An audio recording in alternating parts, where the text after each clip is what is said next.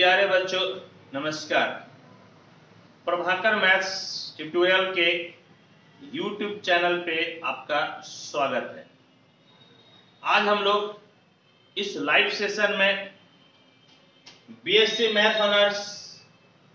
part one paper one group A question bank 2010 TMB को पढ़ेंगे और सिर्फ ग्रुप ए नहीं बल्कि ए बी सी तीनों को हम लोग पढ़ेंगे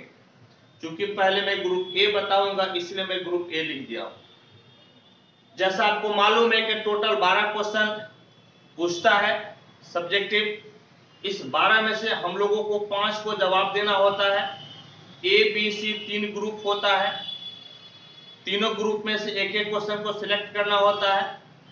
तो प्यारे बच्चों थोड़ा सा आपको आइडिया ले लेना चाहिए ए बी सी ग्रुप देखिए ए बी सी ए में आपका ए में आपका दो बुक होता है सेट थ्योरी और थ्योरी ऑफ इक्वेशन बी में मॉडर्न अल्जेब्रा सी में मैट्रिक्स अल्जेब्रा प्लस ट्रिगोनोमेट्री होता है चार चार करके क्वेश्चन पूछता है हम लोगों को जवाब देना है तीनों मिलाकर सिर्फ पांच और पांच का जवाब देने के लिए हम लोग सात क्वेश्चन की तैयारी करेंगे मिनिमम सात क्वेश्चन की तैयारी करना भी चाहिए एक क्वेश्चन में आपको बताऊंगा सेट थ्योरी से दो क्वेश्चन बताऊंगा थ्योरी ऑफ इक्वेशन से एक क्वेश्चन मॉडर्न अलजेब्रा से दो क्वेश्चन मैट्रिक्स अलजेब्रा से और एक क्वेश्चन ट्रिग्नोमेट्री से एक दो तीन एक चार चार दो छ एक सात सात क्वेश्चन की मैं तैयारी आपको इस लाइव सेशन में कराऊंगा तो होप कि ये कंसेप्ट आपका बिल्कुल क्लियर हो गया होगा आपको पांच ही जवाब देना है लेकिन मैं सात की तैयारी करवाऊंगा तो आइए अब हम लोग आगे बढ़ते हैं मैं यहाँ पर एक क्वेश्चन लिख लिया हूं इसको हम लोग पढ़ते हैं समझते हैं और फिर कोशिश करते हैं सॉल्व करने का क्वेश्चन है एफ आपका एक मैपिंग है एक्स से एक्स में ए और बी एक्स का सबसेट है तो हम लोगों को दिखाना है कि f A union B equal to f A union f B और f A equal to five इसका मतलब कि ए आपका फाइव के बराबर होगा इस चीज को दिखाना है तो इसको प्रूफ करने से पहले एक छोटा सा पार्ट हम लोगों को और सिद्ध कर देना चाहिए तो आइए उस चीज को पहले सिद्ध करते हैं प्रूफ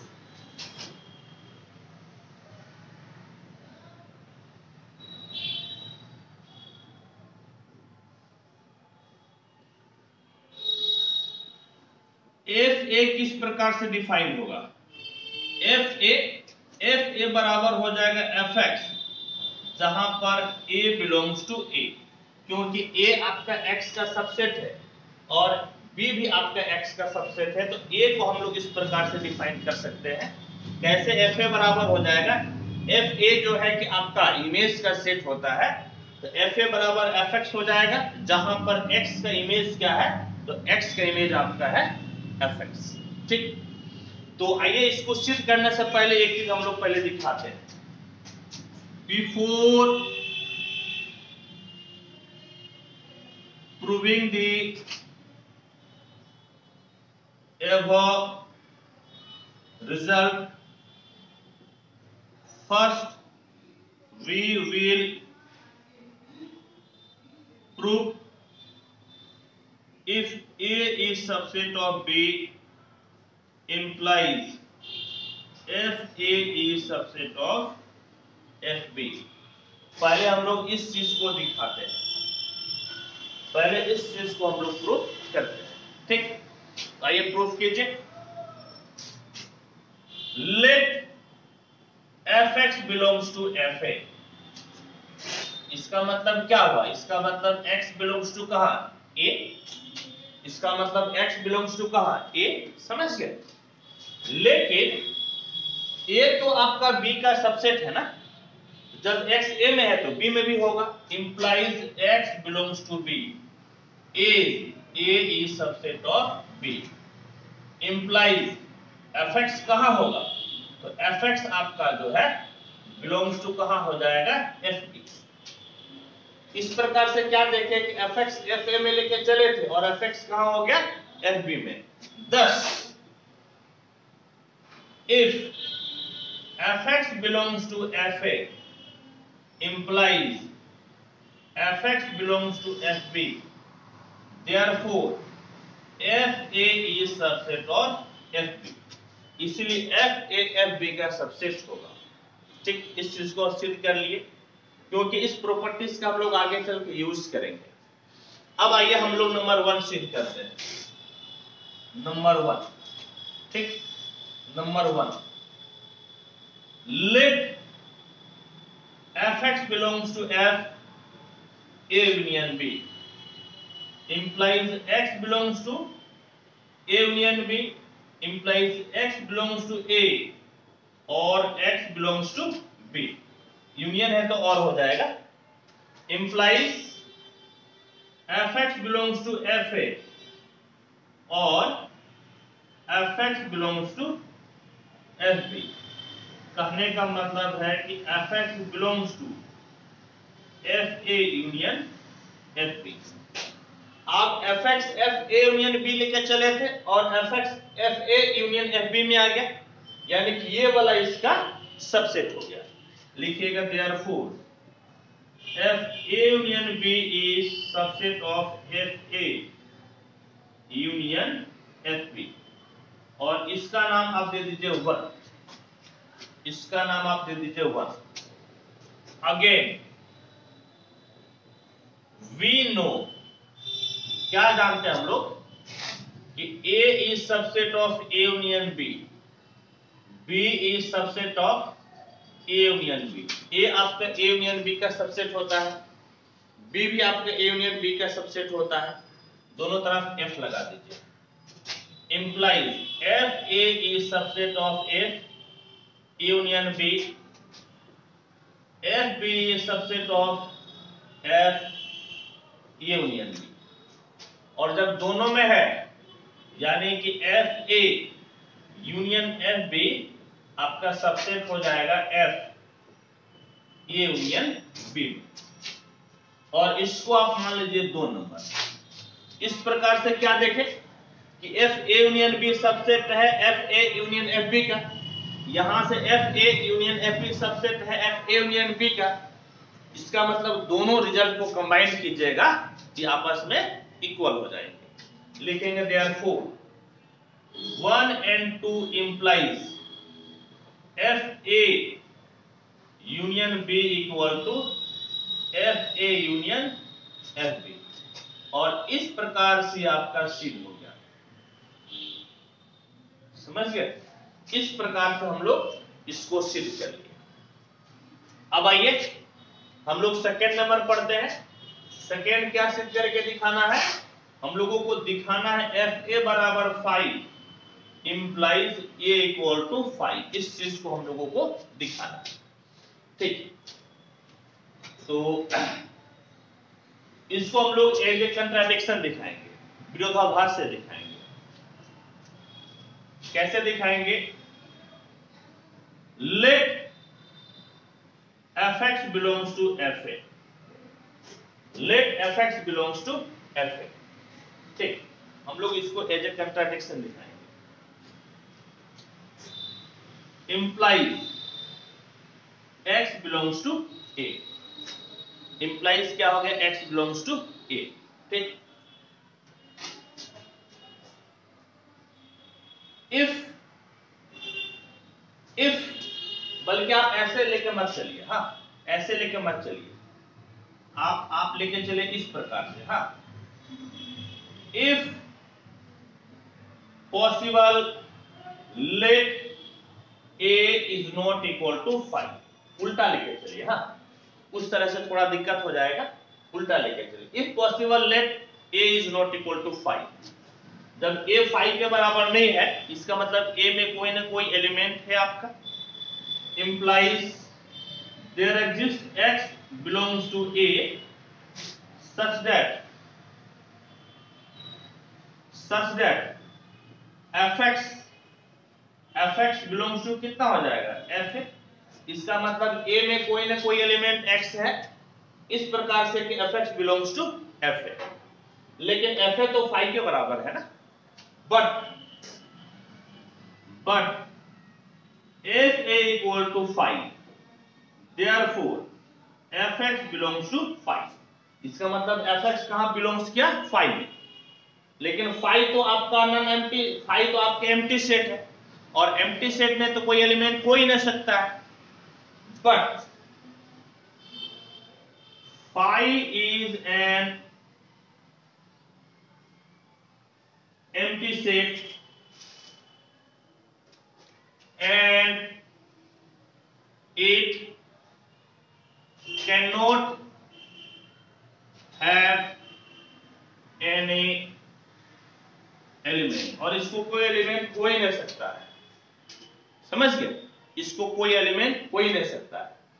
जबकि हम लोग दिखा दिए कि f x belongs to five तो ये विरोधाभास क्यों आ रहा है ये गलती इसीलिए हो रही है क्योंकि यहां पर हम लोग गलत माने हाँ ये गलत माने हैं इसीलिए इस तरह की गलती हो रही है सो so, हाँ so our supposition is wrong. That is a equal to five इसीलिए हम लोगों का सपोजिशन क्या है रॉन्ग है यानी कि हम लोग जो माने थे कि ए फाइव के बराबर नहीं होगा वह गलत माने थे ए किसके बराबर हो जाएगा फाइव के बराबर that is that is if f a equal to five implies a equal to five और इस प्रकार से हम लोग जो है इस क्वेश्चन को सिद्ध कर लिए समझ गए होप इसमें कोई समस्या कोई परेशानी आपको नहीं हुई होगी और यदि कोई समस्या कोई परेशानी नहीं है तो आप इसको लिखिए फिर हम लोग आगे बढ़ते हैं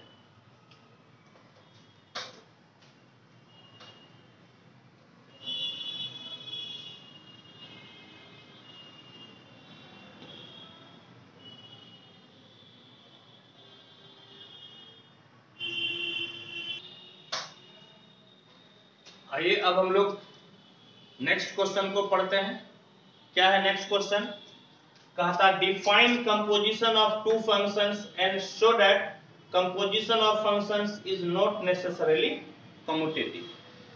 हम लोगों को डिफाइन करना है कंपोजिशन ऑफ टू फंक्शंस को पहला काम है फिर हम लोगों को दिखाना है कि आपका कम्यूटेटिव नहीं होता है तो आइए इस चीज को हम लोग दिखाते हैं सोल्यूशन सबसे पहले डेफिनेशन हा definition of composition of two function definition of composition of two function let if we are mapping from x to y and g is a mapping from y to z then the composition of f and g is denoted by g o f n is n is a mapping from x to z given by GOF x to z such that such that g o f x equal to g f x for all x belongs to x इसको एक photo के माध्यम से समझाइए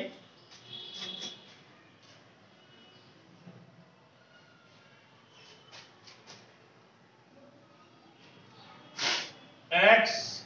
Y z ये आपका f है ये आपका है जी एक्स का इमेज एफ एक्स जो कि वाई के बराबर है और इसका इमेज जी वाई जो कि जेड के बराबर है जी और वाई के जगह पे आप लिख सकते हैं f x equal to z और ये आपका जो है डायरेक्ट मैपिंग हो जाएगा जी और एफ समझ गए डायरेक्ट मैपिंग हो जाएगा जी को एफ और इतना आप दिखाकर छोड़ दीजिए तो ये आपका डेफिनेशन के लिए सफिशियंट और हम लोगों को दिखाना है कि आपका कम्युटेटिव नहीं होता है तो इसको हम लोग एक एक एग्जाम्पल के माध्यम से दिखाते हैं सेकेंड पार्ट सेकेंड पार्ट हा let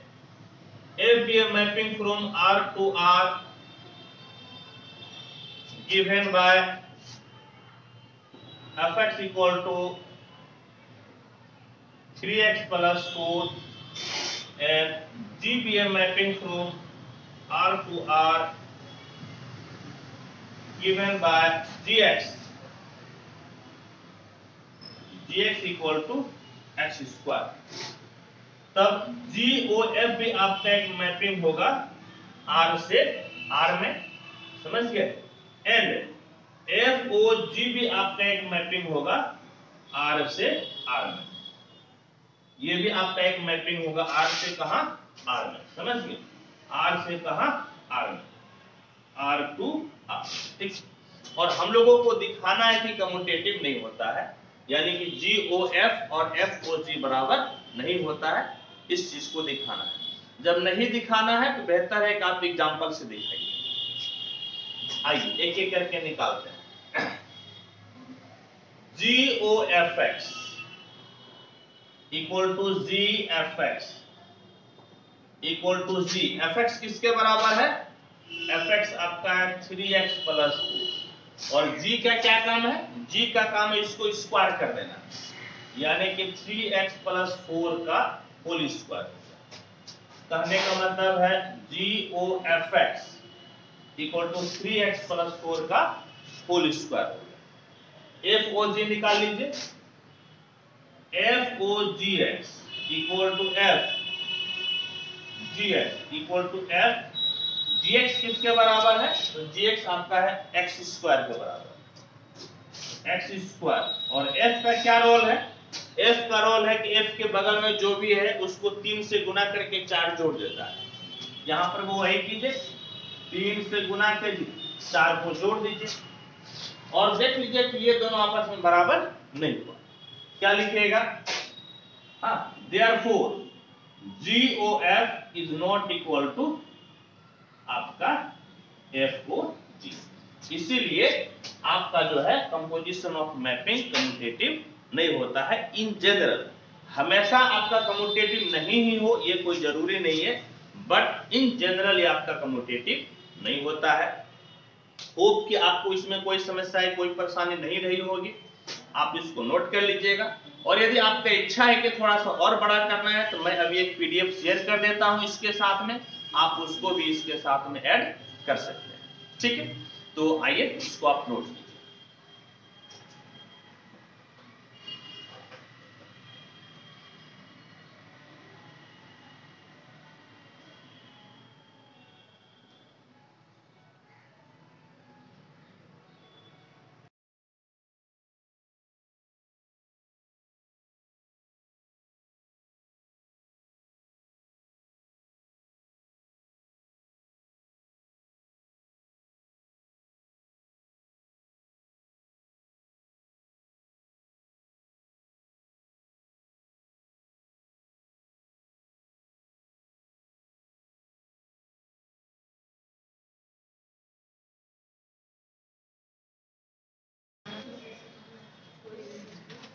आइए अब हम लोग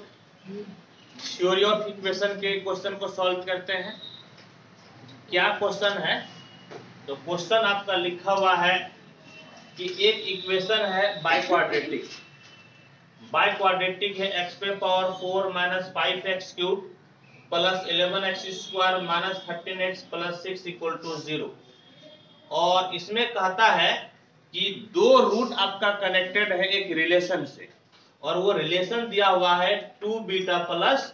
three alpha equal to seven तो कहता है then find all its roots यानी कि इसके सभी रूट्स को निकालना तो देखिए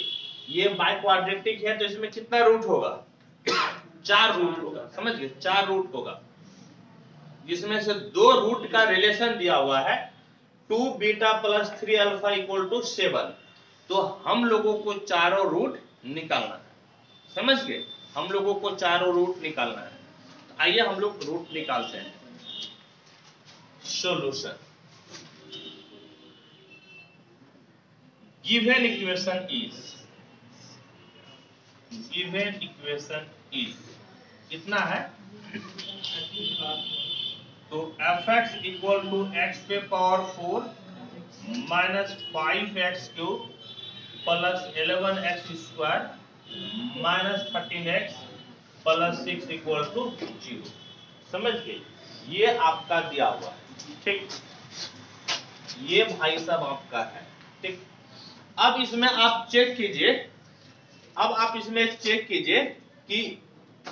x बराबर क्या रखने से ये सेटिस्फाई होता है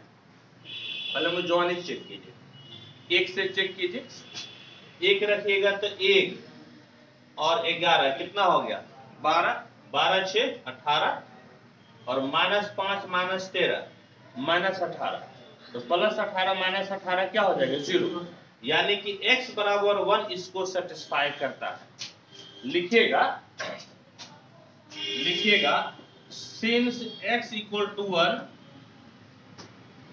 satisfies the equation equation. Therefore, x बराबर वन बराबर alpha C will be one root of the given equation इसीलिए x बराबर वन जिसका का नाम हम लोग क्या लिख दिए अल्फा लिख दिए ये आपका दिए हुए इक्वेशन का एक रूट होगा अब हम लोगों को क्या मालूम है हम लोगों को एक रिलेशन मालूम है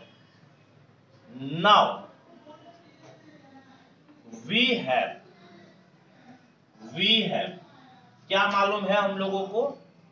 two beta plus three alpha equal to seven तो इससे आप बीटा का वैल्यू निकाल लीजिए तो बीटा का वैल्यू कैसे मिलेगा अल्फा इक्वल टू क्या रखेंगे वन रखेंगे तो आपका two beta plus three into one equal to seven two beta equal to आपका four beta equal to two यानी कि हम लोगों को बीटा का मालूम मालूम हो गया और अल्फा मालूम चल गया समझिए दो रूट हम लोगों को मालूम है दो रूट क्या मालूम हो गया एक वन और एक टू दो रूट मालूम हो गया लिखिएगा हाँ दस x equal to one equal to alpha and x equal to equal to beta will be two roots of the given equation इसीलिए ये दिए हुए इक्वेशन का क्या होगा रूट होगा अच्छा जब x बराबर वन एक रूट हुआ तो x माइनस वन आपका क्या होगा फैक्टर हो जाएगा x बराबर टू आपका एक रूट हुआ तो x माइनस टू हो क्या हो जाएगा फैक्टर हो जाएगा लिखिएगा so x minus one x minus two will be factor of किसका x पे power four minus five x cube plus eleven x square minus thirteen x plus six इसका एक फैक्टर हो जाएगा यानी कि जब x माइनस वन फैक्टर है x माइनस टू फैक्टर है तो दोनों का मल्टीपल भी फैक्टर होगा लिखिएगा and so and so x minus one x minus two equal to कितना हो गया x square minus two minus one minus three x plus two will also factor of इसका फैक्टर x पे power four minus five x cube plus eleven x square minus thirteen x plus six ये भी भाई साहब क्या हो जाएगा factor हो जाएगा समझ गए और जब ये फैक्टर हो गया तो अब हम लोग क्या कर सकते हैं कि इससे आप इसको डिवाइड कर लीजिए तो फिर अगला दो फैक्टर आपको मिल जाएगा तो डिवाइड कीजिए x square minus three x plus two divide करना है एक्स पे power four minus five x cube plus eleven x square minus thirteen x plus six कितना बारे में खाएगा एक्स स्क्वायर बारे में खाएगा तो एक्स पे power four minus three x cube plus two x square minus plus minus minus two x cube और plus nine x square minus two x तो माइनस टू एक्स क्यूब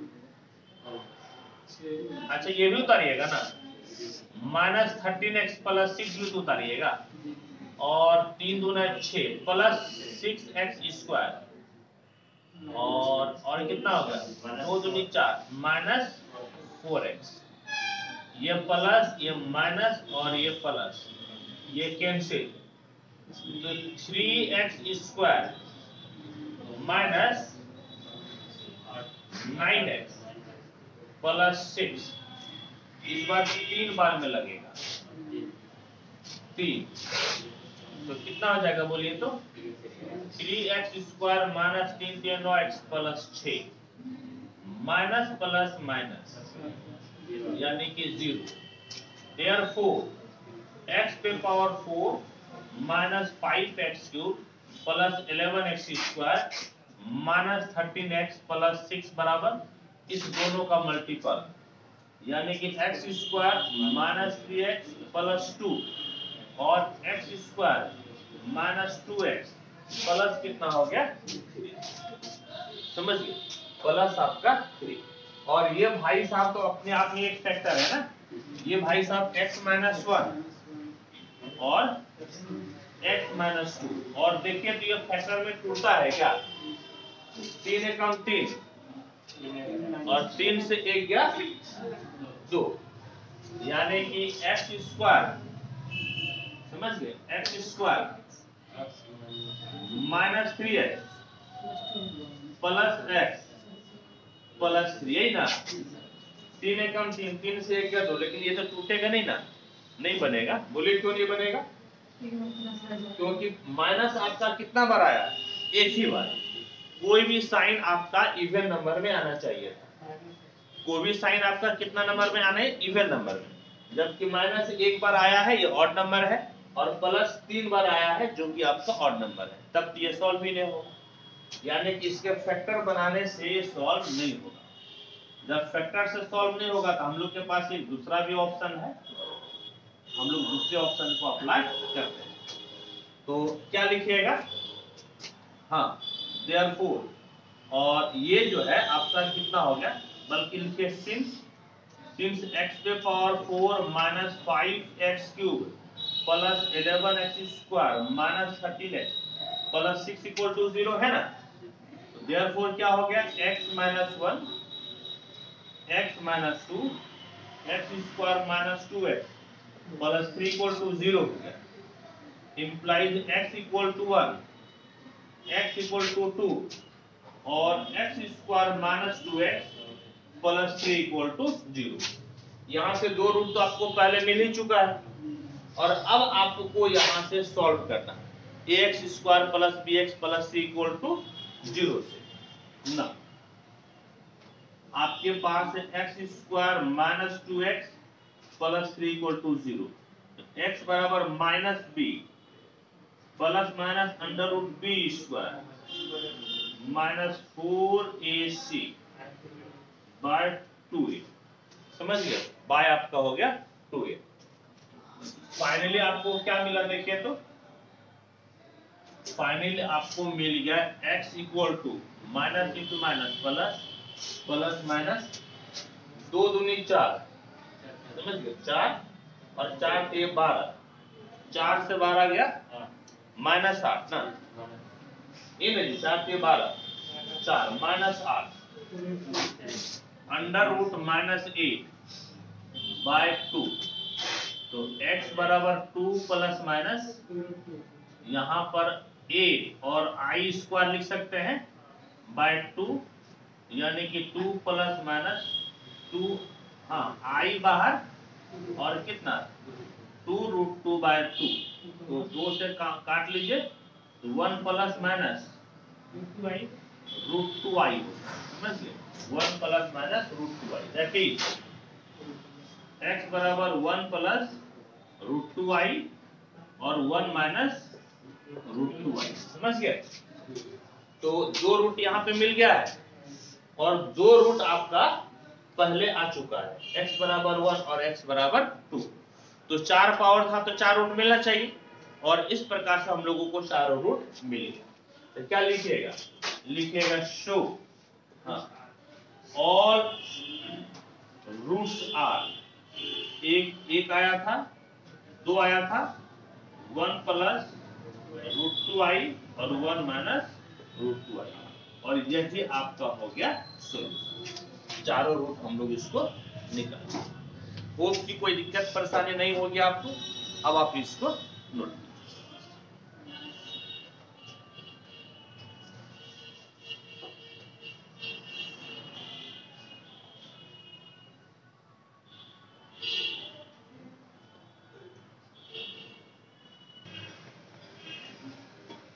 आइए अब हम लोग नेक्स्ट क्वेश्चन को solve करते हैं क्या है नेक्स्ट क्वेश्चन कहता है सोल्व द इक्वेशन एक्स पे power four plus twenty x cube plus one four three x square plus four three zero x plus four six two equal to zero और इसको जो सॉल्व करना है इसमें लिखा हुआ है by removing the second term यानी कि सेकेंड टर्म को हम लोगों को रिमूव करना है तो सेकेंड टर्म आपका कौन सा है एक्स ट्वेंटी एक्स क्यूब यानी कि एक्स क्यूब वाले टर्म को आपको हटाकर इसको सॉल्व करना है समझ गए एक्स क्यूब वाले को हटाकर आपको सॉल्व करना है तो ऐसे केस में ऐसे केस में आपको सबसे पहले इसके रूट्स को रिड्यूस कीजिए यानी कि जो इक्वेशन है ना इस इक्वेशन को आपको ट्रांसफॉर्म करके बनाना पड़ेगा समझ गए इस इक्वेशन को कैसे बनाना पड़ेगा ट्रांसफॉर्म करके ट्रांसफॉर्म करने का कई सारा तरीका है इंक्रीज करना डिक्रीज करना रेसिप्रोकल रूट्स मल्टीप्लाई करना रूट्स को कई सारा तरीका है तो हम लोग इसको सॉल्व करेंगे इसके रूट्स को रिड्यूस करेंगे रूट्स को क्या करेंगे रिड्यूस जिस प्रकार से कार्डन मेथड में करते हैं बिल्कुल उसी प्रकार से यहाँ पर हम लोग रिड्यूस करते हैं तो कैसे सॉल्व कीजिएगा इसको हम लोग लिखेंगे solution solution given equation is कितना है बोले तो x पे power 4 plus twenty x cube one four three x square four three zero x plus four six two equal to zero इसका नाम दे दीजिए वन और ट्रांसफॉर्म करने में अभी क्या बोले क्या करेंगे इसके रूट्स को रिड्यूस कीजिए ठीक हाँ reducing the roots of equation 1 by h. For this, we put हाँ क्या पुट कीजिएगा तो y बराबर x minus h that is x बराबर कितना y प्लस एच एक्स बराबर आपका हो गया वाई प्लस ए इस चीज से हम लोग इसके रूट्स को क्या कर रहे हैं हम लोग इसके रूट्स को रिड्यूस कर रहे हैं समझ गए और अब क्या कीजिए इसका वैल्यू आप वन में रख वन में रखने से देखिए क्या मिलेगा तो वन इंप्लाइज एक्स के जगह पे वाई प्लस एच पे power four plus twenty x के जगह पे वाई प्लस एच पे power three one four three x के जगह पे वाई प्लस एच पे power two four three zero x के जगह पे y plus h plus four six two equal to zero समझे इतना हो गया अब देखिए हम लोगों को तोड़ना है तीन पावर दो पावर का तो फॉर्मूला हम लोग जानते हैं चार पावर का तो नहीं जानते हैं तो चार पावर क्या कैसे टूटेगा इससे नहीं वैसे तोड़िएगा तब तो ऑनर्स की विद्यार्थी है ना वैसे नहीं तोड़ सकते हैं आपको बाइनोमियल यूज करना पड़ेगा कैसे बाइनोमियल यूज कीजिएगा बाइनोमियल के लिए कैसे कीजिएगा फोर है ना तो फोर सी जीरो पहला पे पावर दोनों का अंतर समझ गए दूसरा पे पावर नीचे वाला फोर सी वन पहला पे पावर दोनों का अंतर दूसरा पे पावर नीचे वाला फोर सी टू पहला पे पावर दोनों का अंतर दूसरा पे पावर नीचे वाला फोर सी थ्री पहला पे पावर दोनों का अंतर दूसरा पे पावर नीचे वाला फोर सी फोर पहला पे पावर दोनों का अंतर दूसरा पे पावर नीचे वाला ठीक है ऐसे करके हम लोग तोड़े चार पावर नहीं जानते ऐसे तो चार पावर को तोड़ दिए तीन पावर तो हम लोग जानते हैं ना तीन पावर जानते हैं तो इसको लिखिए तीन पावर को तो कैसे लिखिए बोलिए तो plus twenty a plus b का whole cube a cube plus three a square b plus three a b square plus b cube one four three y plus s जानते हैं ना a square plus two a b plus b square इसको तोड़ दीजिए तो 430 430 y और 430 s plus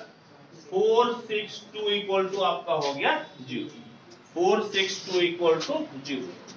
अब देखिए अब आपको जो है ना तोड़ना है इस सब के वेल्यू लिखना है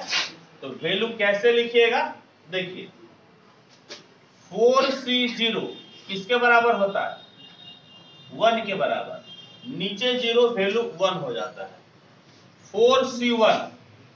four c one कितना होता है फोर होता है फोर सी टू तो कैसे तोड़ने का तरीका चार बटे दो तीन बटे और जैसे ही नीचे एक आ जाए समझ गए जैसे ही नीचे एक आ जाए आप छोड़ दीजिए कितना बार में कटेगा दो तीन दूना छ सी थ्री चार बटे तीन तीन बटे दो दो बटे एक ये दोनों कैंसिल कितना हो गया फोर और फोर सी फोर ऊपर नीचे समान वैल्यू कितना होता है एक समझिए ऊपर नीचे समान वैल्यू कितना होता है एक होता है ठीक ऊपर नीचे समान वैल्यू कितना होता है तो एक होता है चलिए वेरी गुड अब देखिए तो कितना हो गया implies four c zero four c zero एक है छोड़ दीजिए ये रहा वाई पे power four very good h पे पावर जीरो एक छोड़ दीजिए four c one four c one का मतलब कितना हो गया फोर वाई पे पावर तीन और एच फोर सी टू कितना है सिक्स वाई पे पावर दो एच पे पावर दो फोर सी थ्री बोलिए कितना है फोर Y एच पे power three four c four छोड़ दीजिए वाई पे power four minus four zero छोड़ दीजिए और एच पे पावर फोर हो गया एच पे पावर फोर फिर इसको बोलिए तो तोड़ दीजिए तो बीस y cube plus b c i कितना जी साठ वाई स्क्वायर एच फिर बोलिए तो साठ वाई एच स्क्वायर फिर बोलिए तो बीस एच क्यूब फिर बोलिए तो one four three y square ये दो से गुना होगा ना चौदह दो अट्ठाईस तीन दो छ y h one four three h square अब प्लस आपका हो गया चार सौ तीस वाई जोड़ चार सौ तीस एच और four six two equal to आपका हो गया जीरो समझ गए इक्वल टू जीरो अब y का हाईएस्ट पावर पहले पकड़िए y का हाईएस्ट पावर फोर है तो y के हाईएस्ट पावर फोर को आप लिख दीजिए जो कि एक ही जगह पर है ठीक है एक ही जगह पर ले लिए और वाई क्यूब ले लीजिए वाई क्यूब यहां से क्या मिलेगा फोर एल यहाँ पे ना मिलेगा यहाँ पे क्या मिलेगा प्लस ट्वेंटी अब तो नहीं ना है अब तो नहीं ना है जी अब तो नहीं है ठीक प्लस वाई स्क्वायर यहां से सिक्स एक्स स्क्वायर देखिए गड़बड़ ना हो वाई स्क्वायर यहां से साठ एच जरा सा गड़बड़ होगा ना तो गड़बड़ आ जाएगा साठ एच और वाई स्क्वायर देखिए तो यहां से one four three one four three और अब तो नहीं है ठीक और अब आपका जो है वाई वाई देखिए तो यहां से फोर एच क्यू वाई यहां से सिक्सटी एच स्क्वायर वाई यहां से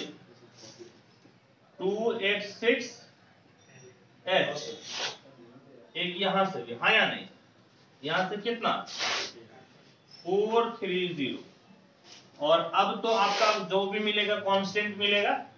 कितना बोलिए तो एच पे पावर फोर फिर यहां से कितना बोलिए तो बीस एच क्यू फिर यहां से है ना यानी कि one four three h square और फिर यहाँ से चार सौ तीस चार सौ तीस एच और आपका four six two equal to कितना हो गया जीरो समझ गए इक्वल टू आपका हो गया जीरो ठीक अब देखिए हम लोगों को क्या रिमूव करना है सेकेंड टर्म यानी कि इस चीज को रिमूव करना है तो इसको रिमूव करने के लिए इसके को क्या करना पड़ेगा जीरो के बराबर हाँ हाँ तो क्या लिखेंगे for review second term for removing second term put क्या पुटेंगे four h plus twenty equal to zero that is four h equal to minus twenty h equal to कितना minus five h equal to minus five आपको put करना समझ गए h equal to कितना minus five और आप ऐसा कीजिए ना कि इधर जो है ना इसका नाम एक दिया है ना एक नाम दिया है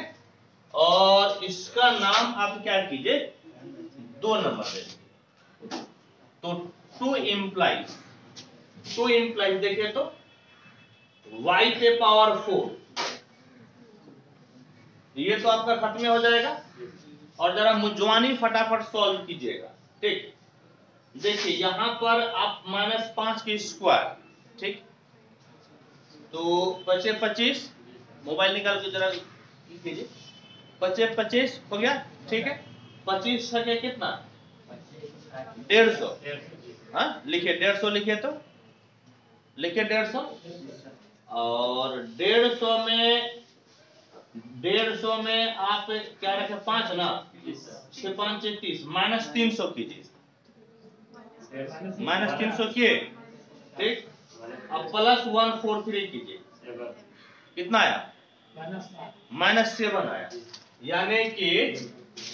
माइनस सेवन वाई स्क्वायर ठीक अब सुनिए अब देखिए पच्चीस पच्चीस पंच सवा सौ सवा सौ चौके कितना जी पांच हाँ, सौ माइनस पांच सौ लिखिए माइनस पांच सौ ठीक और पचे पच्चीस पच्चीस छके डेढ़ सौ डेढ़ सौ कीजिए प्लस डेढ़ सौ प्लस ठीक डेढ़ सौ प्लस और फिर उसमें चार सौ तीस प्लस कीजिए चार सौ तीस प्लस और कितना आया हाँ? तिहत्तर याद रखिएगा तिहत्तर याद रखिए हाँ, हाँ? ओ अच्छा फिर से एक बार देखिए तो यहाँ पर क्या रहेगा पांच ना बचे पच्चीस पंच सवा सौ सवा सौ चौके माइनस पांच सौ लिखिए माइनस पांच सौ लिखे अरे शुरू से कीजिए ना माइनस पांच सौ माइनस पांच सौ हुआ और देखो पचे पच्चीस पच्चीस सके वही तो किए थे काम हम कुछ गड़बड़ के हाँ। डेढ़ सौ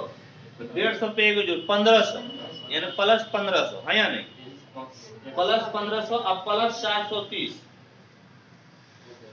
प्लस चार सौ तीस के कितना आया चौदह सौ तीस और फिर आप ऐसा कीजिए देखिए छप्पन से तीस का सुनना हाथ का रहा तीन आठ चालीस तैतालीस का तीन हाथ का रहा चार पांच चौदह जीरो यानी कि ये वाला जो है ना वाई वाला टर्म आपका नहीं बचेगा ये जीरो हो गया ना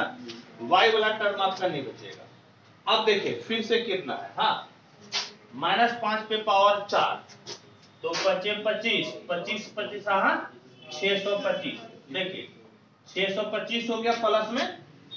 और 125 गुना दो ढाई सौ जीरो पच्चीस सौ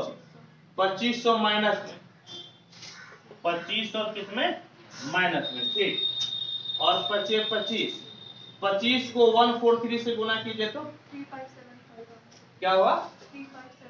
थ्री फाइव सेवन फाइव ठीक पच्चीस को वन फोर थ्री से अब चार सौ तीस को पांच से गुना कीजिए टू वन फाइव जीरो और चार सौ बासठ चार सौ बासठ पांच पांच दस का दो दस दो बारह का दो हाथ करा एक छह एक सात सात सात चौदह पंद्रह सोलह के छह हाथ का एक हाँ? चार एक पांच पांच पांच दस दस से सोलह में से हाथ करें तीन एक चार एने बोलिए तो जीरो पांच छ चार ये माइनस ना तो ये दोनों घटाइएगा तो बारह प्लस में बचेगा क्या प्लस में कितना बच जाएगा बारह प्लस में कितना बच गया बारह इक्वल टू जीरो समझ गए ये आपका आया ठीक ये भाई साहब आया और अब क्या कीजिए अब देखिए तो फैक्टर बनता है क्या बारह कम बारह चार तेई बारह और चार तीन सात फैक्टर बन गया तो आपका कितना हो गया वाई पे power four minus four y square minus three y square plus twelve equal to zero y square common y square minus four और यहां पर माइनस थ्री को मन y square minus four equal to zero तो y square minus four y square minus three equal to zero y square equal to four और y square equal to three y equal to plus minus two और y equal to plus minus root three यानी कि y equal to two minus two three और root three और minus root three आ गया है या नहीं वाई का कितना वैल्यू मिला चार लेकिन y तो हम लोगों को नहीं निकालना था ना हम लोगों को x में निकालना था अब रिलेशन देखे तो x बराबर कितना है y प्लस एच अब देखे तो यहाँ जो है आपका रिलेशन यहीं पे लिखिए रिलेशन चूंकि x बराबर y प्लस एच है तो y प्लस एच लेकिन एच आप क्या निकाले एच बोलिए तो एच कहा निकाले निकालेगा यहाँ एच कितना निकाले माइनस फाइव ये भाई साहब कितना हो गया माइनस फाइव वन तो देर फोर एक्स बराबर देखिए क्या होगा पहले पहला वाई रखिए तो पहला वाई कितना है दो तो दो माइनस पांच फिर कितना है माइनस दो माइनस पांच है या नहीं फिर कितना है रूट थ्री माइनस फाइव और फिर minus root three minus five that is x बराबर माइनस थ्री माइनस सेवन और ये जो है minus five plus root three minus five minus root three आया आया हाँ नहीं एक बार पहले मैच कीजिए तो जरा मैच कीजिए तो इसको तो देखिए बिल्कुल मैं आंसर को मिलाया यही आपका आंसर यानी कि ये जो आपका इक्वेशन दिया हुआ था इस इक्वेशन का जो सॉल्यूशन हुआ और सॉल्यूशन किस प्रकार से हम लोग निकाले तो सेकेंड टर्म को रिमूव करके और वो सॉल्यूशन क्या मिला minus three minus seven minus five plus root three और minus five minus root three चार डिग्री की इक्वेशन था तो चार सोल्यूशन मिलना चाहिए था और हम लोगों को चारों सोल्यूशन मिल गया और यही हम लोगों का क्या हो गया आंसर समझिए यही हम लोगों का आंसर हो गया अब आप इसको नोट कीजिए और फिर हम लोग पढ़ते हैं कार्डन मेथड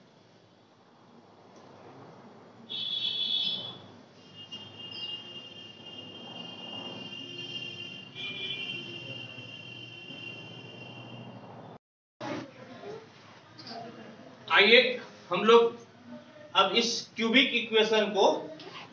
कार्डन मेथड से सॉल्व करते हैं समझ गए इस क्यूबिक इक्वेशन को हम लोगों को सॉल्व करना है और किस मेथड से सॉल्व करना है तो सॉल्व करना हम लोगों को कार्डन मेथड से तो अब सबसे पहले एक बात बताइए कि कार्डन मेथड से सॉल्व करने के लिए इसमें क्या नहीं होना चाहिए एक्स स्क्वायर का टर्म नहीं होना चाहिए यानी कि उस चीज को हम लोगों को क्या करना है रिमूव करना है और रिमूव करने के लिए कुछ तरीका हम लोग पढ़े थे क्या तरीका पढ़े थे सबसे पहले इसके जो है रूट्स को हम लोग रिड्यूस करते हैं समझ गए एक्स से रिड्यूस करते हैं किससे रिड्यूस करेंगे एक्स तो क्या लिखिएगा लिखेंगे solution even cubic equation is क्या दिया हुआ बोलिए तो x cube minus three x square minus ten x plus twenty four equal to zero ठीक है क्या कीजिए reduce the roots of the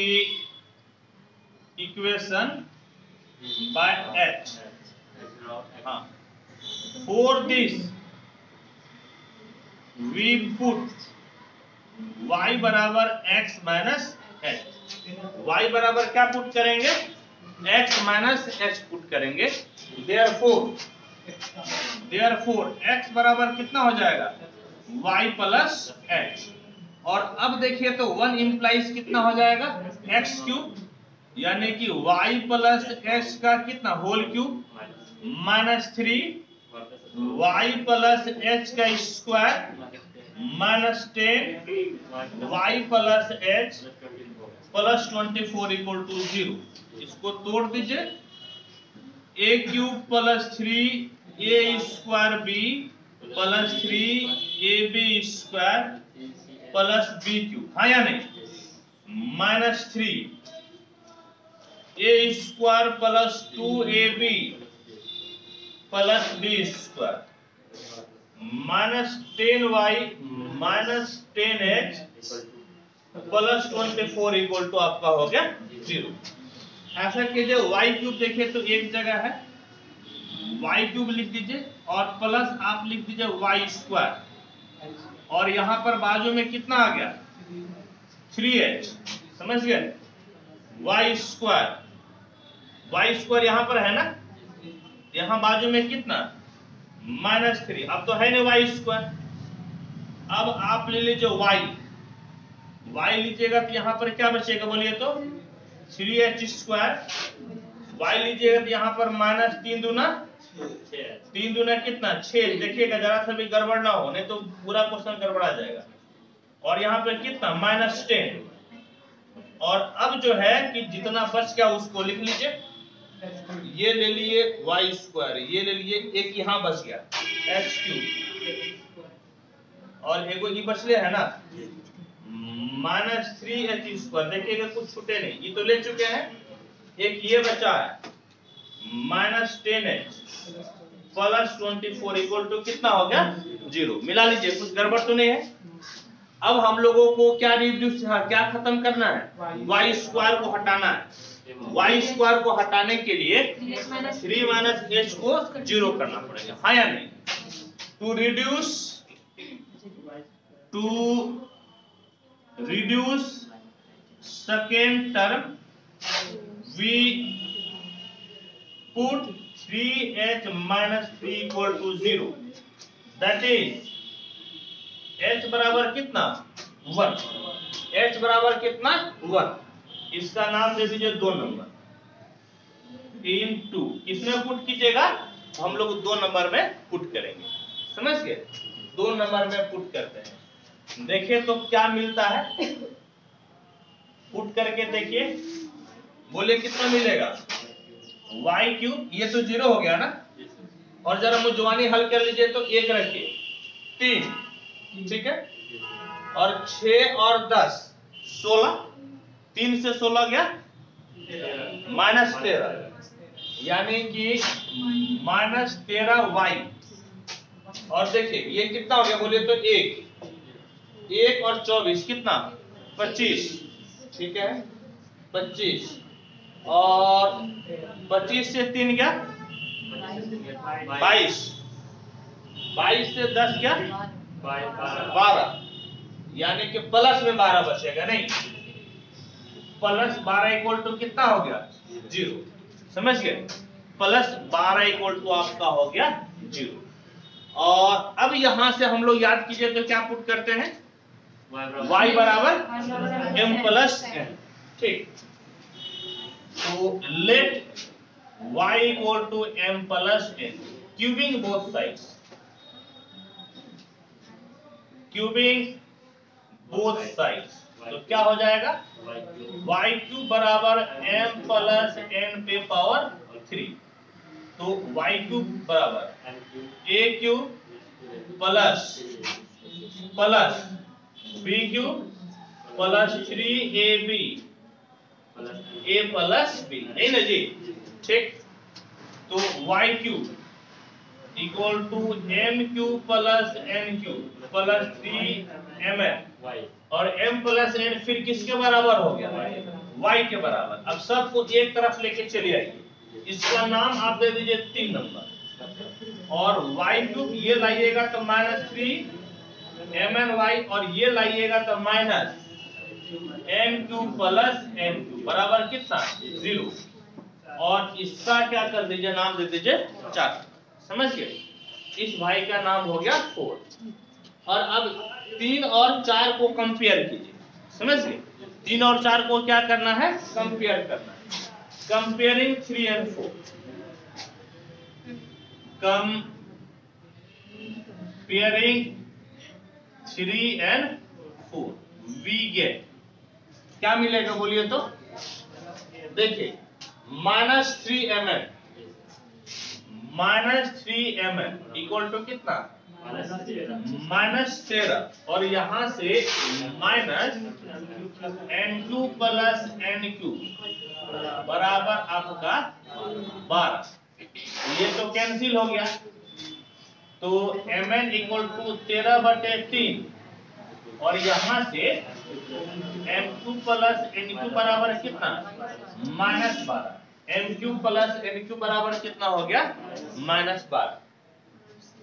यहां से भी सॉल्व करने का कई सारा तरीका होता है एक तो हम लोग क्वाड्रेटिक में चाहे तो बना सकते हैं और वहां से रूट ले सकते हैं या फिर क्या कीजिए एक और भी तरीका है वो क्या तरीका है कि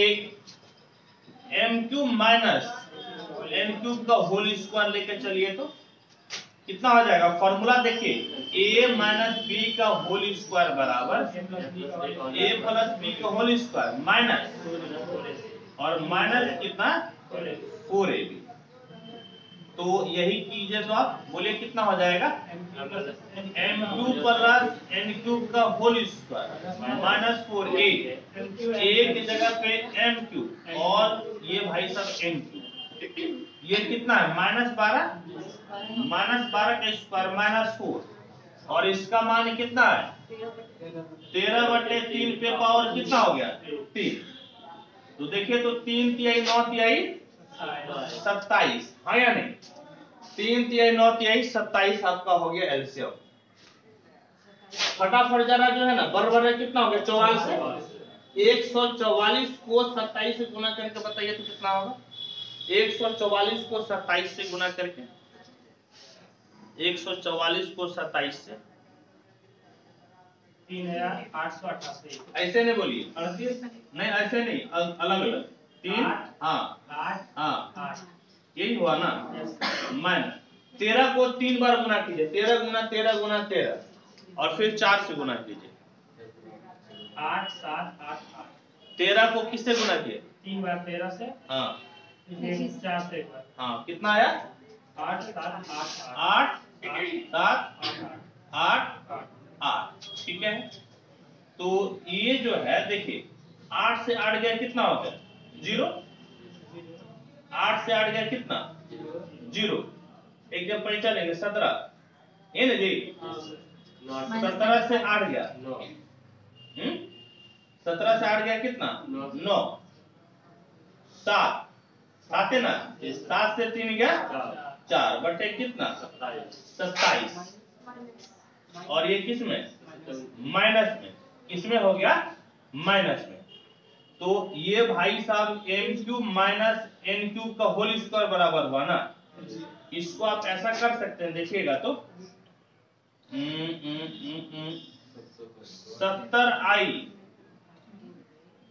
बटे थ्री रूट थ्री का होल स्क्वायर कर सकते हैं आई स्क्वायर का मतलब कितना हो गया माइनस और सत सत्य उनचास सत्तर के स्क्वायर तो उनचास सौ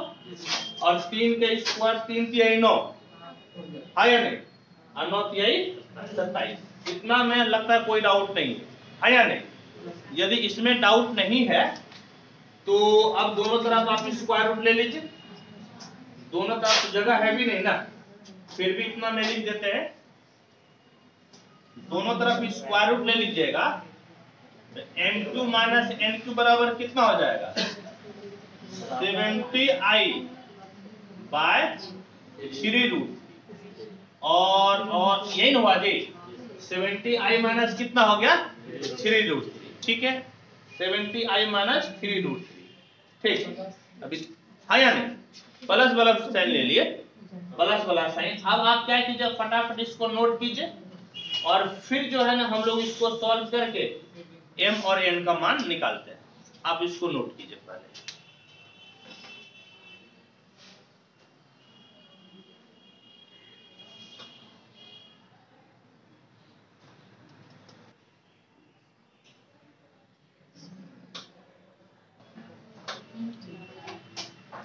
देखिए अब हम लोग क्या करते हैं m cube plus n cube बराबर कितना आपका आया माइनस बारह और n cube minus n cube बराबर आपका हो गया सत्तर आई बटे थ्री रूट थ्री तो एक बार आप जोड़ दीजिएगा तो किसका वैल्यू मिलेगा एम क्यूब का और माइनस कीजिएगा तो एन क्यूब का वैल्यू मिलेगा एडिंग एडिंग बोलिए तो क्या मिलेगा ये दोनों कट जाएगा टू एम क्यूब बराबर माइनस बारह सत्तर आई बटे थ्री रूट थ्री दो से भाग दे दीजिए तो एम क्यू बराबर कितना माइनस छ प्लस पैंतीस आई बटे थ्री रूट थ्री है या नहीं और इस प्रकार से एम क्यू बराबर हो जाएगा हाँ आप एल्सियम ले लीजिए एल्सियम कितना थ्री रूट थ्री छह कितना अठारह रूट थ्री और प्लस कितना पैंतीस आई प्लस कितना हो गया पैंतीस आई यहाँ पर हर का परिमीकरण कर लीजिए तो थ्री रूट थ्री बटे कितना थ्री रूट थ्री रसलाइज कर लीजिएगा तो एम क्यू बराबर देखिए अठारह तिहाई कितना बोलिए तो अठारह छक्के नहीं अठारह छक्के नहीं देखिए रूट थ्री गुना रूट थ्री कितना हो गया तीन और तीन तिहाई कितना नौ अठारह नवा हाँ? बस अट्ठा ना एक सौ बासठ माइनस एक सौ बासठ अब प्लस पैंतीस तिहाई पांच दस पंद्रह का पांच हाथ करे तीन के नौ एक दस एक सौ पांच और नीचे कितना हो गया सत्ताईस नीचे कितना हो गया सत्ताईस यानी कि m बराबर आप ऐसा लिख सकते हैं माइनस वन सिक्स टू अब प्लस एक सौ पांच रूट थ्री आई बटे में थ्री क्यूब और इस पे पावर कितना क्यू इस पे पावर वन बाय क्यू हाँ या नहीं उधर एम का पावर तीन था इधर आएगा तो कितना हो जाएगा वन बाय थ्री यहां तक कोई दिक्कत नहीं और इस प्रकार से आपका m इक्वल टू कितना हो गया तो वन बाय थ्री तो पहले आपका बाहर हो जाएगा इसके वजह से तीन तीन कैंसिल हो जाएगा और क्या बचेगा minus one six two plus एक सौ पांच रूट थ्री आई और इसके पावर कितना वन बाय थ्री ये तो एम ना आप माइनस कर दीजिए सब्ट्रैक्ट कर दीजिए सब ट्रैक्टरिंग ये दोनों कैंसिल तो आपका टू एन क्यूब हो जाएगा माइनस बारह ये माइनस हो जाएगा सत्तर आई बटे थ्री रूट थ्री दो से भाग दे दीजिए तो एन क्यू बराबर माइनस सिक्स और माइनस कितना हो जाएगा माइनस पैंतीस आई बटे थ्री रूट थ्री तो एन क्यू बराबर आपका थ्री रूट थ्री एल्सियम सेम हो गया ना छह अठारह माइनस पैंतीस आई थ्री रूट थ्री से ऊपर नीचे गुना कर दीजिए तो सेम आएगा सिर्फ आपका बीच में माइनस हो जाएगा माइनस एक सौ बौसठ माइनस एक सौ पांच रूट थ्री आई बटे में कितना सत्ताईस तो एन बराबर माइनस एक सौ बौसठ माइनस एक सौ पांच रूट थ्री आई बटे तीन पे क्यू पूरे पे पावर कितना वन बाय थ्री हो गया हाँ या नहीं और इस प्रकार से एन बराबर माइनस वन सिक्स टू बल्कि पहले आप वन बाय थ्री को बाहर कर लीजिए वन बाय थ्री बाहर और बोलिए तो क्या हो गया minus one six two minus एक सौ पांच रूट थ्री आई और इसके पावर कितना एक बटे थ्री और अब अब अब आप इस पे एक चीज चेक कीजिए ये देखिए एक बटे तीन एक बटे तीन मिल गया माइनस एक सौ बासठ माइनस एक सौ बासठ मिल गया ये भी सेम है वर्ग सिर्फ किसका है प्लस माइनस का तो प्लस माइनस का फर्क है ना तो एक को सॉल्व कीजिएगा तो दूसरा आपका ऑटोमेटिक आ जाएगा समझ गए एक को सॉल्व कीजिएगा तो दूसरा आपका ऑटोमेटिक आ जाएगा तो लेटिए let minus one six two plus एक सौ पांच रूट थ्री आई बराबर इसके जगह पे क्या लीजिएगा ए प्लस यहां पर B root three I root three इसलिए लिए क्योंकि यहाँ पर पावर में कितना है यहाँ पर रूट तीन है और इसका पावर में एक बट्टे तीन था ना एक बट्टे तीन पावर को हम लोग इतना मान लिए क्योंकि अब हम लोगों को इसको सॉल्व करना है अब क्यूब पावर कर दीजिए दोनों तरफ cubing both side cubing both side तो minus one sixty two plus एक सौ पांच रूट थ्री आई बराबर A plus B root B पे पावर कितना हो गया तीन और इसको ए प्लस बी के होल क्यूब पे तोड़ दीजिए हाँ या नहीं तो तोड़िएगा तो कितना हो जाएगा A cube plus three A square B plus three A into है ना into B root three I का whole square plus B root में आएगा कितना होल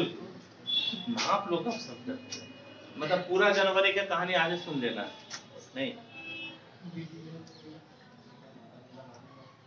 देखिए इतना हो गया ना अब देखिए तो क्या मिलेगा समझे देखिए बिना आई वाला क्या है ए क्यू ठीक और ये भी बिना आई वाला होगा आई स्क्वायर माइनस वन ना माइनस देखिए ये तीन बचेगा और तीन तिहाई कितना नौ ए बी स्क्वायर हो जाएगा ठीक अब प्लस प्लस जो है आई वाला इस दोनों से मिलेगा यहां पर पहले आई कॉमा ले लीजिए तो क्या मिलेगा three root three A square B और यहां से यहां से भी आपका थ्री रूट थ्री ही होगा क्योंकि रूट थ्री का क्यूब थ्री रूट थ्री और जो है आपका बी क्यू और आई क्यू बराबर माइनस आई होता है आई क्यू बराबर माइनस आई ये प्लस नहीं हो जाएगा बल्कि क्या हो जाएगा माइनस ये भाई साहब आपका हो गया माइनस तो कितना बराबर minus one six two plus एक सौ पांच रूट थ्री आई बराबर यहां से कुछ कॉमन ले लीजिए ए कॉमन आ रहा है तो A square minus nine B square और प्लस रूट थ्री आई आपको कॉमन चाहिए तो रूट थ्री तो कॉमन आई रहा है आया हाँ नहीं तो देखे तो थ्री रूट थ्री और बी भी कॉमन आ रहा है आया हाँ नहीं और आई भी ले लेंगे बाद में थ्री रूट थ्री गया बी गया तो क्या बच गया A square three root three गया बी गया माइनस बी स्क्वायर और एक आई जो आपका है बाहर हो गया समझ गए यहाँ तक तो होप की कोई दिक्कत नहीं आप दोनों तरफ जो है ना रियल और इमेजनरी पार्ट को इक्वेट कर लीजिए रियल और imaginary part equating real and imaginary part यहां से कितना A A square minus nine B square किसके बराबर वन सिक्सटी टू माइनस में और यहाँ पर i के बाजू में three root three B A square minus B square और इधर आपका है एक सौ पांच रूट थ्री समझिए एक सौ पांच रूट थ्री तो इधर तो कटेगा काट दीजिए तो A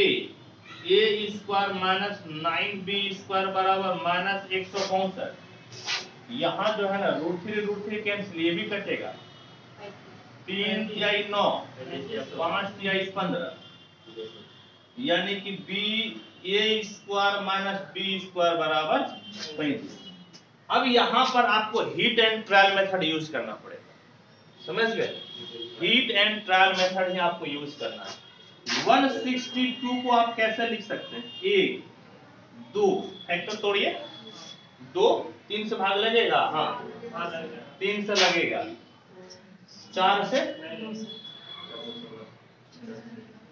नहीं चार से नहीं लगेगा छ से लग जाएगा ठीक छ से लग गया हाँ या नहीं और सात दूना चौदह सात से नहीं आठ से देखे तो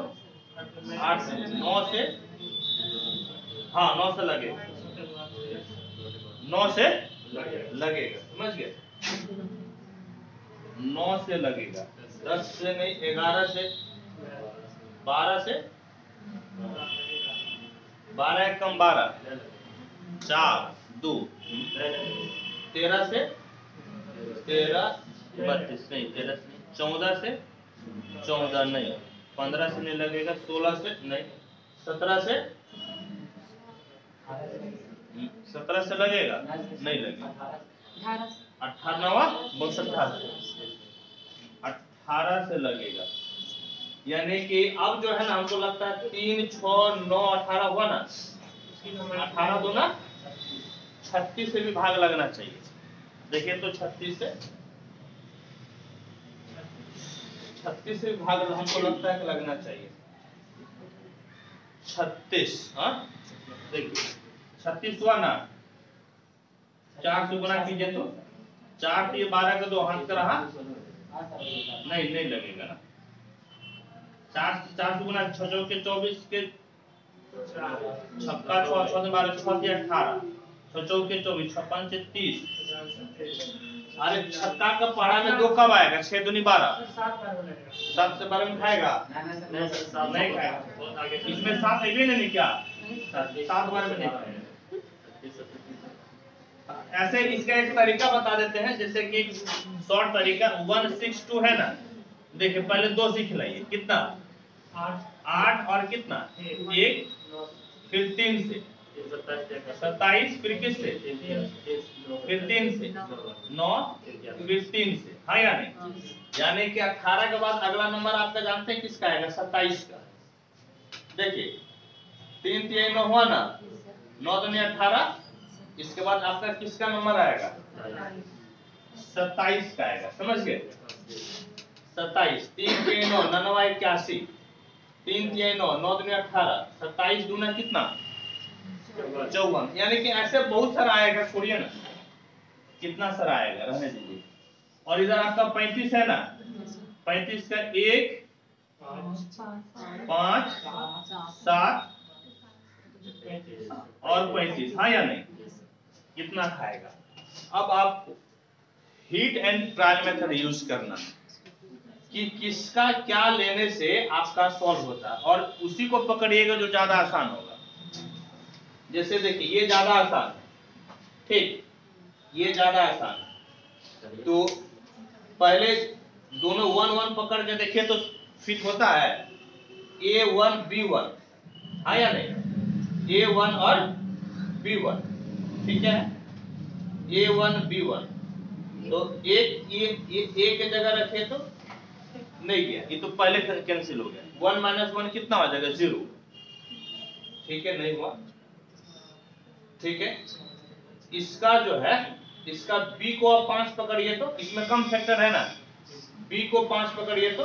पांच पकड़े इसका एक पकड़िए देखिए ए एक पकड़िए एक से पच्चीस गया कितना माइनस चौबीस और हाँ, चौबीस और पंचे एक सौ पैंतीस तो कम से कम नहीं आएगा छोड़ दीजिए दो पकड़िए तो एक का बी पांच है ना पांच दो दुनी चार चार से पच्चीस गया इक्कीस नहीं बहुत कम है ना नहीं पकड़ा रहा है तीन पकड़िए तो ये पांच है ना तीन तिहाई नौ नौ से पच्चीस गया सोलह हाँ? सोलह सोलह गुना पांच सोलह पंचायत नहीं इसका छह पकड़िए तो छ पकड़िए तो छठाकर छत्तीस से कितना गया पच्चीस ग्यारह गुना पांच पचपन नहीं अर्थात इसका एक लेकर चले तो अभी इसका एक से तो सब में ट्राई नहीं किया है जरा एक से ही ट्राई कीजिए तो काय कैसे तो नहीं बात बन रही है ना छ और एक ये भाई साहब एक लिए छोड़ दीजिए और एक क्या लिए छा के छत्तीस और बी कितना लिए एक छत्तीस से एक गया पैंतीस छत्तीस से एक गया कितना हो गया पैंतीस यानी कि छ और एक से बात बनी है लेकिन आपको दोनों पे फिट होना चाहिए ना अभी तो ट्राई एक जगह किया दूसरी जगह ट्राई कीजिए तो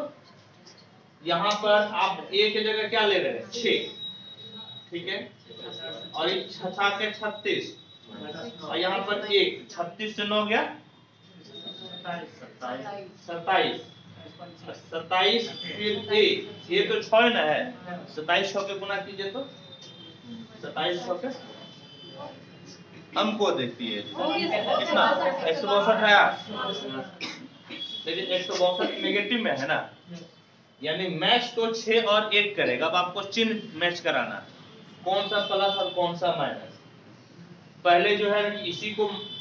प्लस और इसको माइनस लेके चलिए तो एक के जगह माइनस लेके चलिए लेकिन बी आपका माइनस बी यहां पर माइनस देने से तो फर्क नहीं पड़ेगा क्यों क्योंकि यदि आप यहां पर देते हैं तो स्क्वायर की वजह से फर्क नहीं पड़ेगा और यदि यहां पर ए माइनस दे देते हैं तो यहां से माइनस का फर्क पड़ जाएगा हाँ या नहीं माइनस का फर्क पड़ जाएगा ना और आपको तो माइनस से फर्क पड़ना चाहिए लेकिन ए में भी वेरीफाई कर लीजिए ए आप यदि यहाँ पे माइनस देते हैं स्क्वायर की वजह से फर्क नहीं पड़ेगा और बी तो आपका जैसा क्या तैसे रहा यानी कि हीट एंड ट्रायल मेथड से आपका क्या हो गया बस hit and trial method A बराबर माइनस सिक्स और b बराबर कितना हो गया वन इस तरह से करके आपको ट्राई करना ही पड़ेगा समझ गए ठीक है इसको नोट कीजिए फिर मिटाकर आपको बताते हैं नोट कीजिए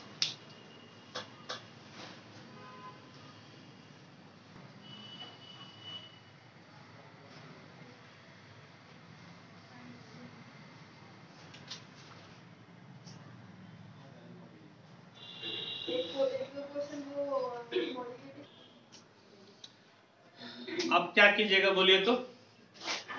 अब जो है ए और बी तो हम लोग निकाल लिए ना यहां पर वैल्यू रखिए समझ गए तो क्या लिखिएगा therefore therefore minus one sixty two plus एक सौ पांच रूट थ्री आई पर पावर वन बाय थ्री बराबर ए ए कितना निकला minus six plus B B तो वन है छोड़ दीजिए रूट थ्री आई प्लस कितना हो गया रूट थ्री आई हाँ या नहीं और इस प्रकार से अब आप m लिख सकते हैं m की जगह पे क्या लिखिएगा Therefore m equal to one by three. और फिर ये चीज है ना हाँ या नहीं और इसके जगह पे आप क्या लिखे minus six plus root three I N N equal to कितना वन बाय थ्री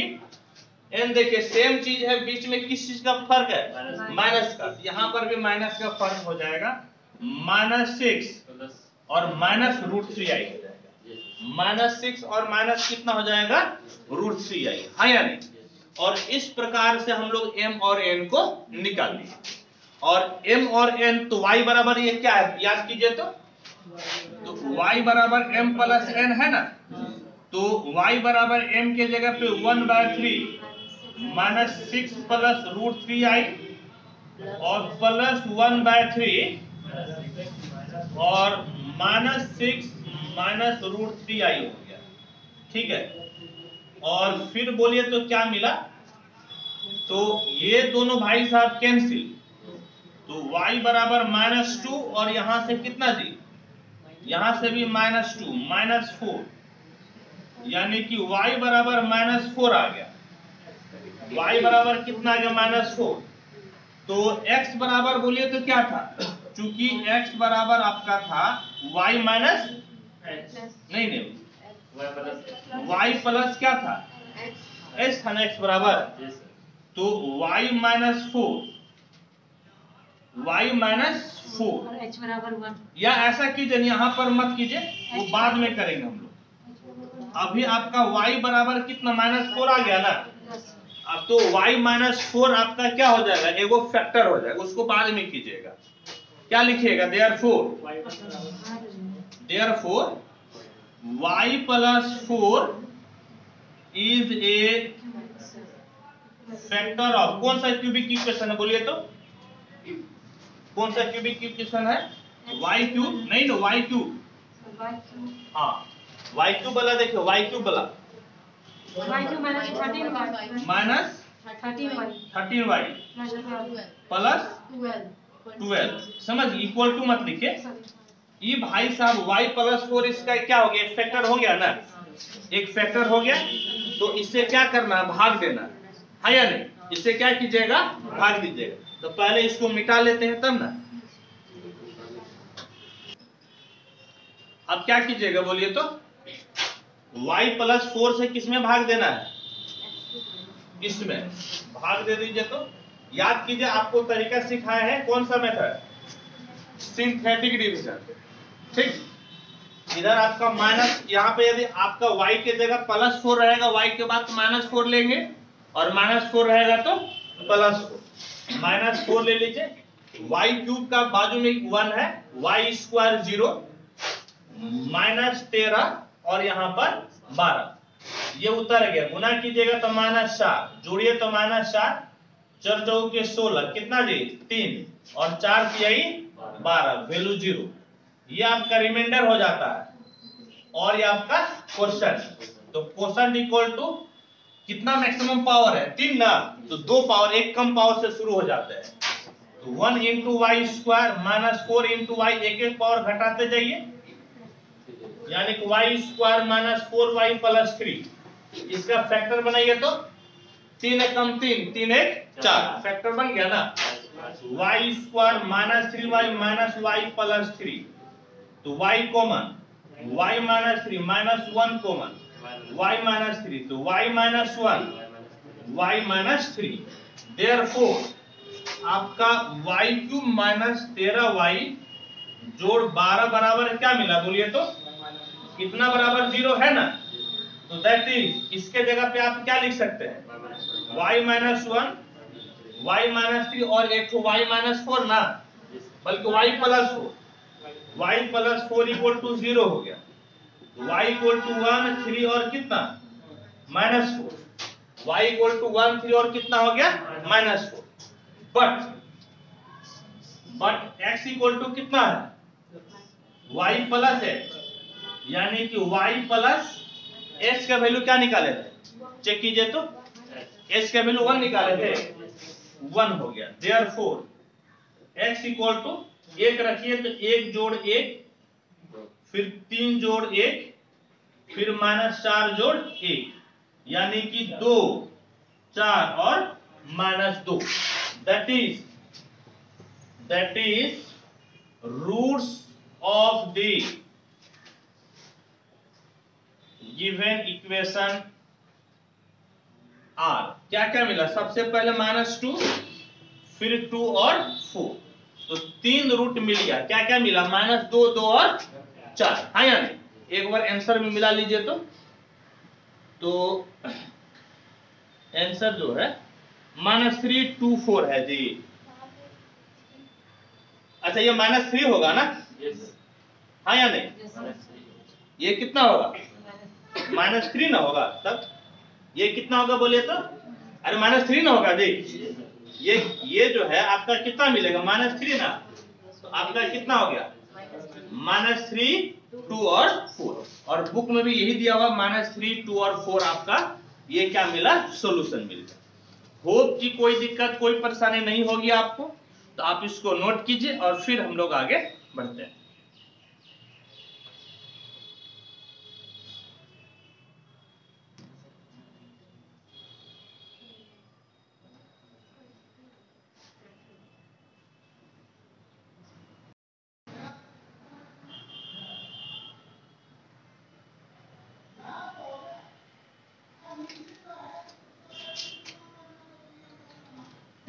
बच्चों नमस्कार प्रभाकर मैथ्स ट्यूटोरियल में आपका स्वागत है आज हम लोग इस लाइव सेशन में मॉडर्न अल्जेबरा यानी कि एब्स्ट्रैक्ट अल्जेबरा के एक बहुत ही इम्पोर्टेंट थ्योरी को पढ़ेंगे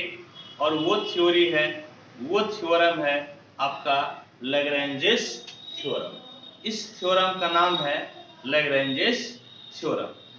प्यारे बच्चों ये लैग्रेंजेस थ्योरम एबस्ट्रैक्ट अलजेब्रा का बहुत ही इम्पोर्टेंट टॉपिक है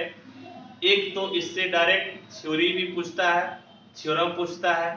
इससे रिलेटेड कई सारे क्वेश्चन पूछते हैं और साथ ही साथ प्यारे बच्चों अक्सर मैं देखता हूँ कि इससे ऑब्जेक्टिव भी आपका आता है तो आइए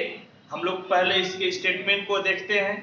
समझते हैं और फिर इस थ्योरम को प्रूफ करते हैं मैं आपको बता दूं कि कई बार एग्जामिनेशन में स्टेट में लिखा हुआ रहता है और कई बार डायरेक्ट लिखा हुआ रहता है state and proof Lagrange's theorem यदि स्टेटमेंट लिखा हुआ रहे तो आपको स्टेटमेंट लिखने की जरूरत नहीं है डायरेक्ट प्रूफ कर देना है और यदि यदि स्टेटमेंट नहीं लिखा हुआ रहे तो प्यारे बच्चों यदि क्वेश्चन आता है state and proof Lagrange's theorem तो आप डायरेक्ट प्रूफ लिखिएगा तो आपका काम नहीं चलेगा उसके लिए आपको स्टेटमेंट लिखना बहुत ही अनिवार्य हो जाता है जरूरी हो जाता है तो क्या स्टेटमेंट है स्टेटमेंट क्या कहता है इस चीज को हम लोग समझते हैं क्या है the order of each subgroup of a finite group G is a divisor of the order of group G that is if G is a finite group of order n and H is a subgroup of order m, then m divides n. Then m divides n. इस चीज को पहले मैं आपको समझाता हूं ये कहना क्या चाहता है कहना ये चाहता है प्यारे बच्चों कि एक ग्रुप आपका g है समझ गए एक ग्रुप आपका g है और ये g आपका फाइनाइट ग्रुप है समझ गए एक ग्रुप g है ये ग्रुप आपका फाइनाइट है और इसका ऑर्डर एन है इस ग्रुप का ऑर्डर एन है तो एच जो कि जी का एक सब ग्रुप है एच जो कि जी का एक सब ग्रुप है जिसका ऑर्डर एम है तो यह जो आपका सब ग्रुप का ऑर्डर है यह ग्रुप के ऑर्डर को भाग देगा समझ गए यानी कि एम भाग देगा एन को एम किसको भाग देगा तो एम भाग देगा आपके एन को यानी कि ऑर्डर ऑफ सब ग्रुप भाग देगा ऑर्डर ऑफ गुरु को कहने का मतलब है कि m भाग देगा n को m डिवाइड्स n समझ गए m डिवाइड्स n इस दोनों में से कोई भी स्टेटमेंट आप लिखकर काम चला सकते हैं और हाँ कोई जरूरी नहीं है कि एकदम line by line word by word आप यही स्टेटमेंट लिखिए ऐसा कई बार नहीं हो पाता है तो आप इस चीज को समझिए और अपने भाषा में स्टेटमेंट को लिख दीजिए वो आपका मान रहेगा वैलिड रहेगा तो होप कि आपको अभी कोई दिक्कत कोई परेशानी नहीं हुई होगी और प्यारे बच्चों मैं आपको बता दूं कि इस थ्योरी को प्रूफ करने से पहले जो आपका बेसिक कंसेप्ट होना चाहिए बेसिक कंसेप्ट का मतलब फाइनाइट ग्रुप क्या होता है ग्रुप का ऑर्डर क्या होता है सब ग्रुप क्या होता है सब ग्रुप का ऑर्डर क्या होता है कॉसेट क्या होता है लेफ्ट कॉसेट क्या होता है होप कि इस चीज को आप अच्छी तरह से भली बात जानते हो क्योंकि मैं पिछली क्लास में ये सब आपको बता चुका हूँ तो आपको जो बैकग्राउंड का जानकारी होना चाहिए आप भली भांति जानते हैं और यदि आप नहीं जानते हैं आप मेरा पिछला वीडियो देख लीजिएगा आपको भली भांति सब कुछ समझ में आ जाएगा तो ठीक है आइए इस चीज को अब हम लोग प्रूफ करते हैं proof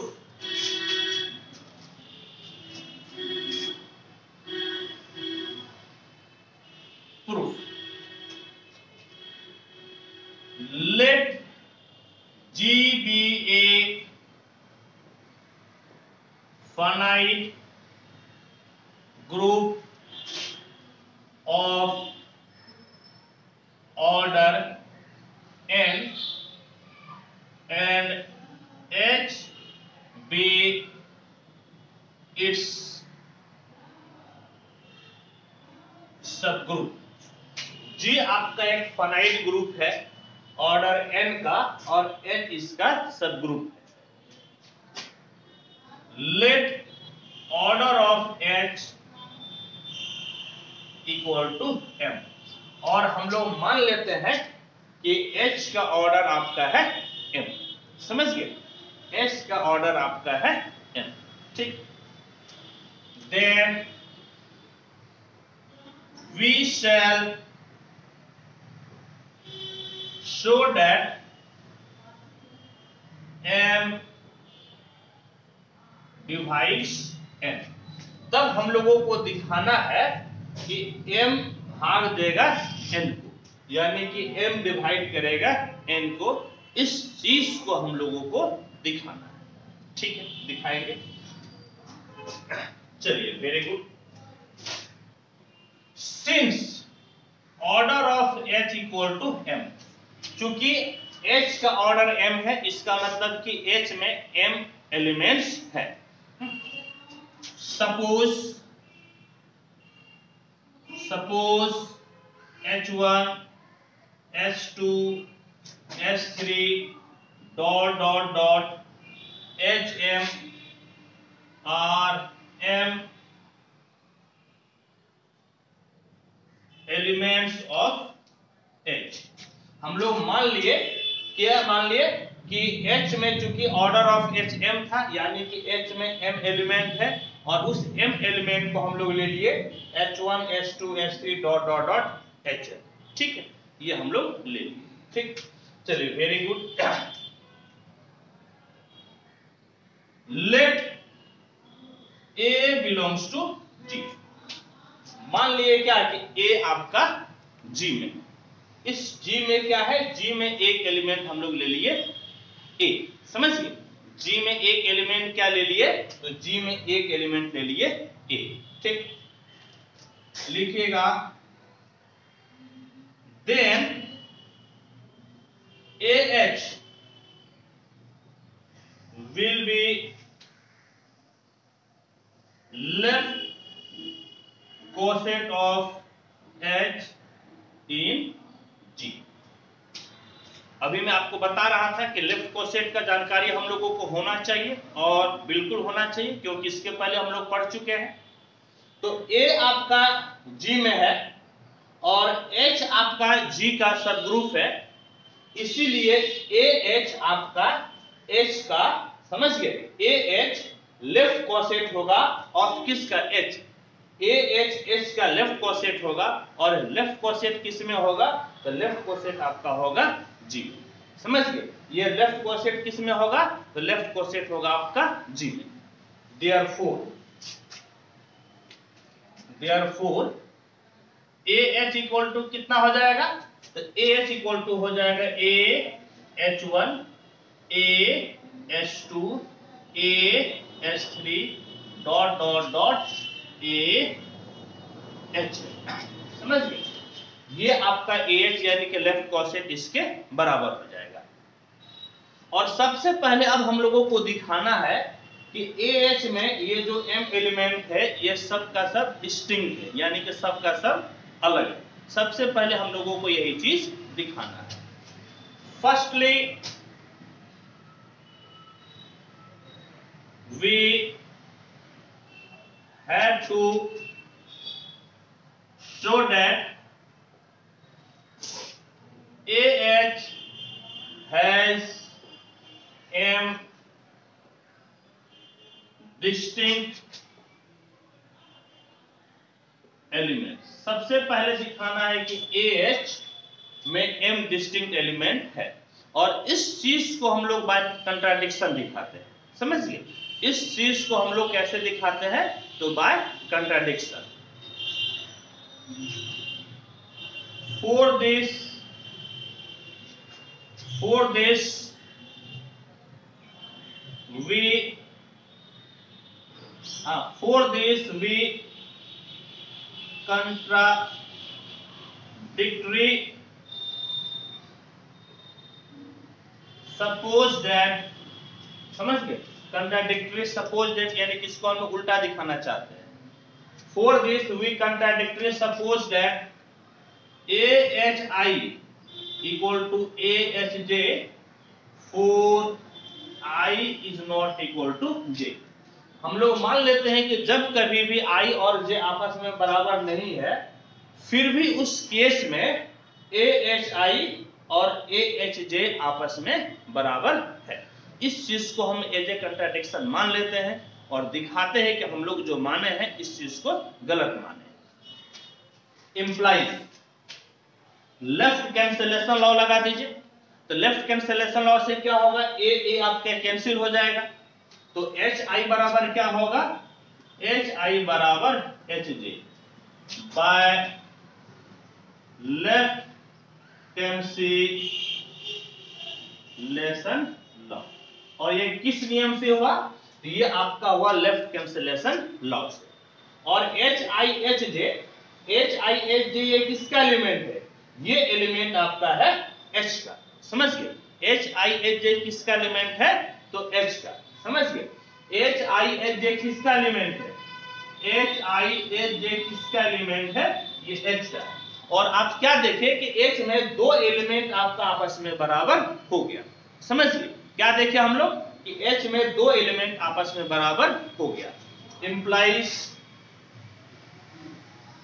two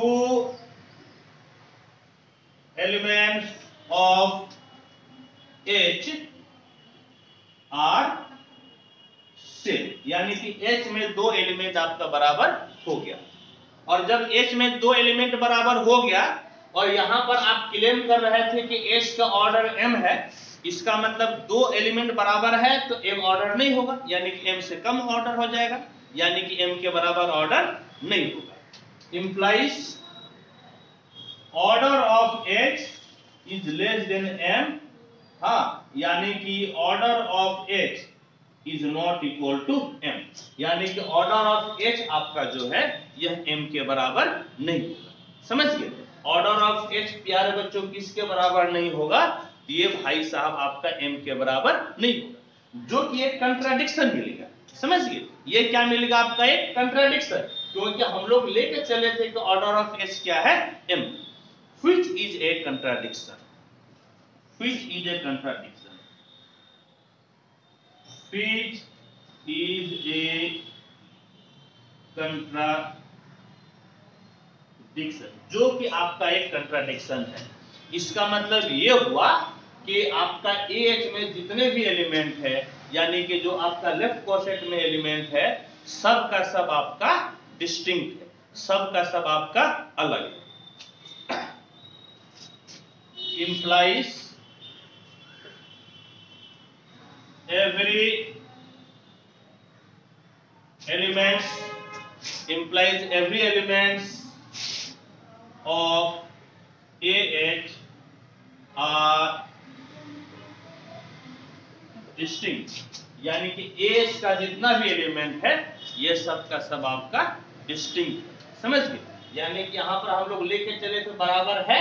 लेकिन फिर एज ए कंट्राडिक्शन हम लोग दिखा दिए कि ये बराबर नहीं है बल्कि सबका सब आपका अलग ठीक तो होप कि अभी तक आपको कोई समस्या कोई परेशानी नहीं हुई होगी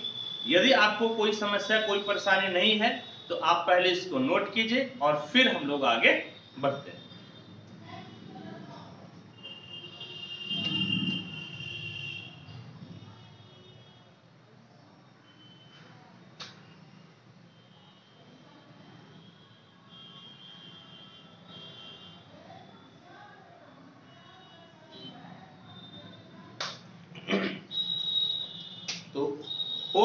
तक आपको कोई समस्या परेशानी नहीं होगी तो अब देखिये अब हम लोग क्या करते हैं कि अब हम लोग क्या जानते हैं इस चीज को पहले लिखते हैं also we know also we know A I H intersection A J H equal to five A I H intersection A J H equal to five कहने का मतलब है कि दो आपका दो आपका डिस्टिंक्ट लेफ्ट कॉसेट में कोई भी आपका एलिमेंट कॉमन नहीं होता है समझ गए कहने का मतलब क्या हुआ कहने का मतलब है कि that is two distinct left coset has mutually destroyed mutually disjoint समझ गया यानी कि दो आपका दो आपका अलग अलग लेफ्ट कॉसेट क्या होता है तो दो आपका अलग अलग लेफ्ट कॉसेट आपका म्यूचुअली डिस्जॉइंट होता है इस चीज को हम लोग लेफ्ट कॉसेट या यू कह के कॉसेट में हम लोग पढ़े और कॉसेट में क्या क्या पढ़े थे आइए उस चीज को भी यहाँ पे लिखते हैं तो उस चीज को लिखते हैं since G is a finite group क्योंकि जी आपका एक फाइनाइट ग्रुप है समझिए जी आपका एक फाइनाइट ग्रुप है और फाइनाइट ग्रुप में यदि एच का लेफ्ट कोसेट की बात करते हैं तो एच का लेफ्ट कोसेट भी क्या होगा फनाइट होगा समझिए चूंकि जी आपका फनाइट है एच इसका ग्रुप है तो एच का जितना भी लेफ्ट कोसेट होगा वो सब का सब क्या होगा फनाइट होगा तो लिखेंगे since G is a finite group so हा so number of left coset of H in G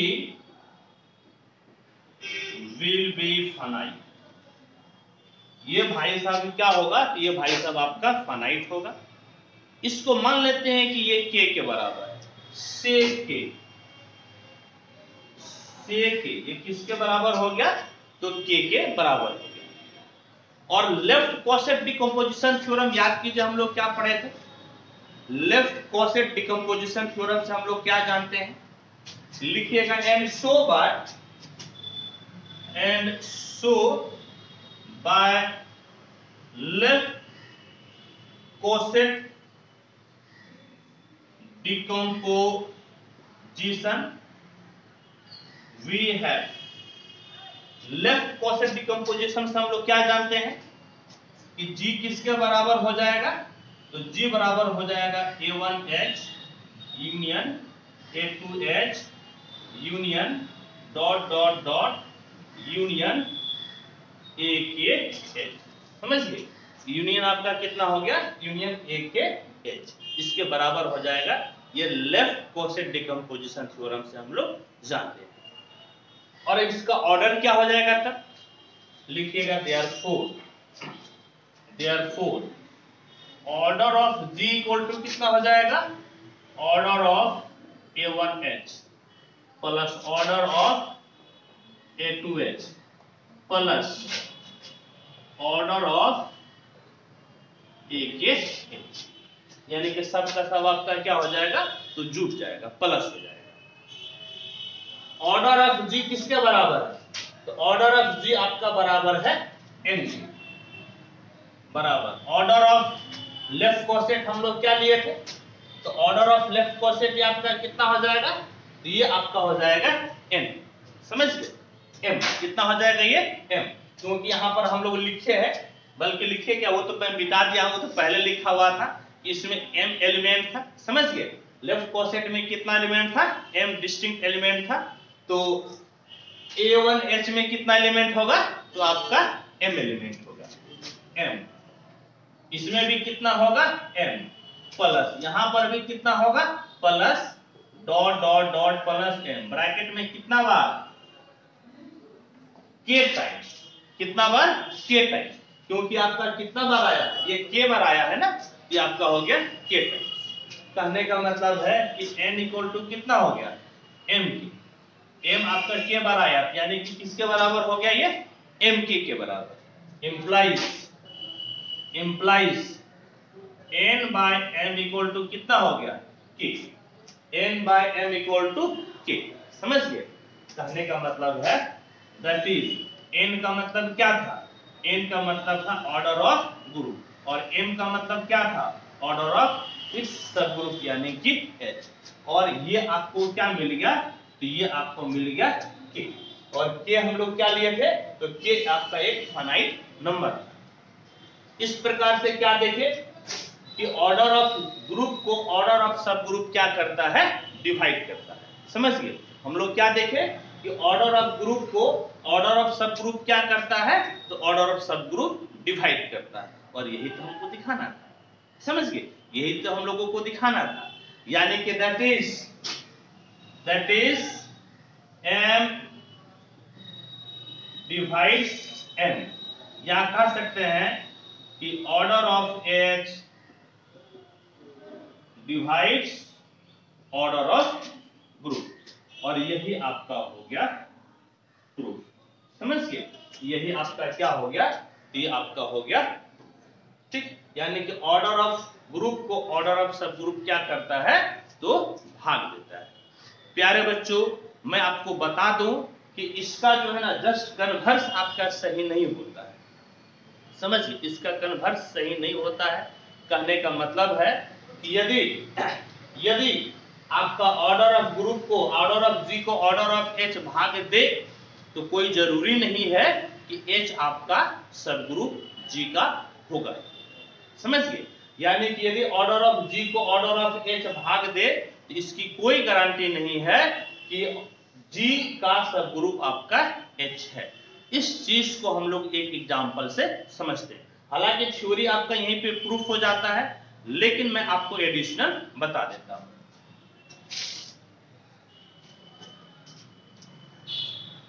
the converse of this theorem is not true इस थ्योरम का कन्वर्स ट्रू नहीं होता है कैसे नहीं होता है जब नहीं दिखाना है तो एक आप एग्जाम्पल से दिखाइए for this for this let g equal to one minus one I minus I याद कीजिए कि ये क्या है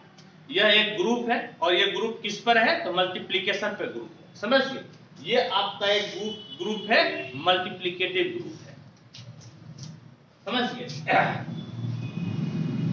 and h equal to one I one और आई इसी का ले लिए जो कि g का क्या है सबसे समझिए g का क्या है सबसे ठीक लेट जी बराबर इतना और एच बराबर इतना G is a multiplicative group G is a multiplicative group and order of G बराबर कितना हो गया तो ऑर्डर ऑफ जी देख लीजिए कितना एलिमेंट है तो चार एलिमेंट है यानी कि जी का ऑर्डर कितना हो गया तो फोर जिसको हम लोग क्या लिख सकते हैं टू इंटू टू यानी कि order of G equal to हो गया टू और इस टू का जगह पर आप ऑर्डर ऑफ एच लिख सकते हैं क्योंकि एच में भी तो दो एलिमेंट है ना यानी कि कितना हो गया आपका ऑर्डर ऑफ एच समझ ऑर्डर ऑफ क्या हो गया एच यानी कि that is order of G by order of H equal to कितना हो गया टू यानी कि जी तो आपका एच से यानी कि order of G order of H से डिविजिबल है समझिए order of G order of H से डिविजिबल है लेकिन क्या एच आपका जी का सब ग्रुप है क्या इस चीज को चेक कीजिए तो यहां पर देखिए तो एच में आपका वन और आई है समझिए एच में आपका क्या है वन और आपका आई है जो कि आपका समझिए जो कि आपका ग्रुप है ही नहीं यह आपका एक ग्रुप मल्टीप्लीकेशन पे एक ग्रुप तो आपका है ही नहीं ठीक है but h equal to one I is not a multiplicative group लेकिन ये तो आपका जो है मल्टीप्लीकेटिव ग्रुप आपका है ही नहीं क्योंकि ग्रुप में आपको क्या क्या प्रॉपर्टीज चाहिए तो क्लोजर लॉ क्लोजर के बाद आपको आइडेंटिटी चाहिए इनवर्स चाहिए एसोसिएटिव चाहिए तो ये आपका सारा रूल को फॉलो नहीं करता किस ऑपरेशन के तहत तो मल्टीप्लीकेशन ऑपरेशन के तहत और जब ये ग्रुप है ही नहीं तो सब ग्रुप कैसे होगा जब ये ग्रुप है ही नहीं तो आपका सब ग्रुप भी नहीं हो सकता है that is that is H is not subgroup of G यानी कि एच जो है जी का सब ग्रुप नहीं हो जबकि order of H order of G को भाग देता है लेकिन आपका एच जो है जी का सब ग्रुप नहीं होता है यानी कि लैग्रेंजेस थ्योरम जो है आपका कन्वर्स में ट्रू नहीं होता होप कि प्यारे बच्चों आपको कोई दिक्कत कोई समस्या है कोई परेशानी नहीं होगी तो आप इसको नोट कीजिए और फिर हम लोग इस चीज को खत्म करते हैं तब तक के लिए थैंक यू धन्यवाद जय हिंद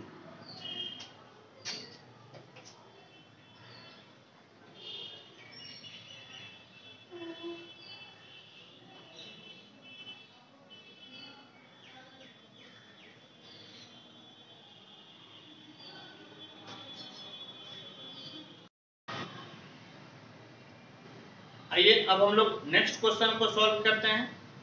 क्या है नेक्स्ट क्वेश्चन कहता है कि show that a group with four or fewer element is necessarily abelian कहने का मतलब है कि एक ग्रुप में यदि चार या चार से कम एलिमेंट रहता है तो आपका एबिलियन ग्रुप होगा कहने का मतलब है कम्यूटेटिव ग्रुप होगा इस चीज को हम लोगों को दिखाना तो आइए दिखाते हैं लेकिन इसको सिद्ध करने से पहले एक छोटा सा पार्ट हम लोगों को सिद्ध करना चाहिए आइए हम लोग उसको भी पहले सिद्ध करते हैं वो क्या है देखिए proof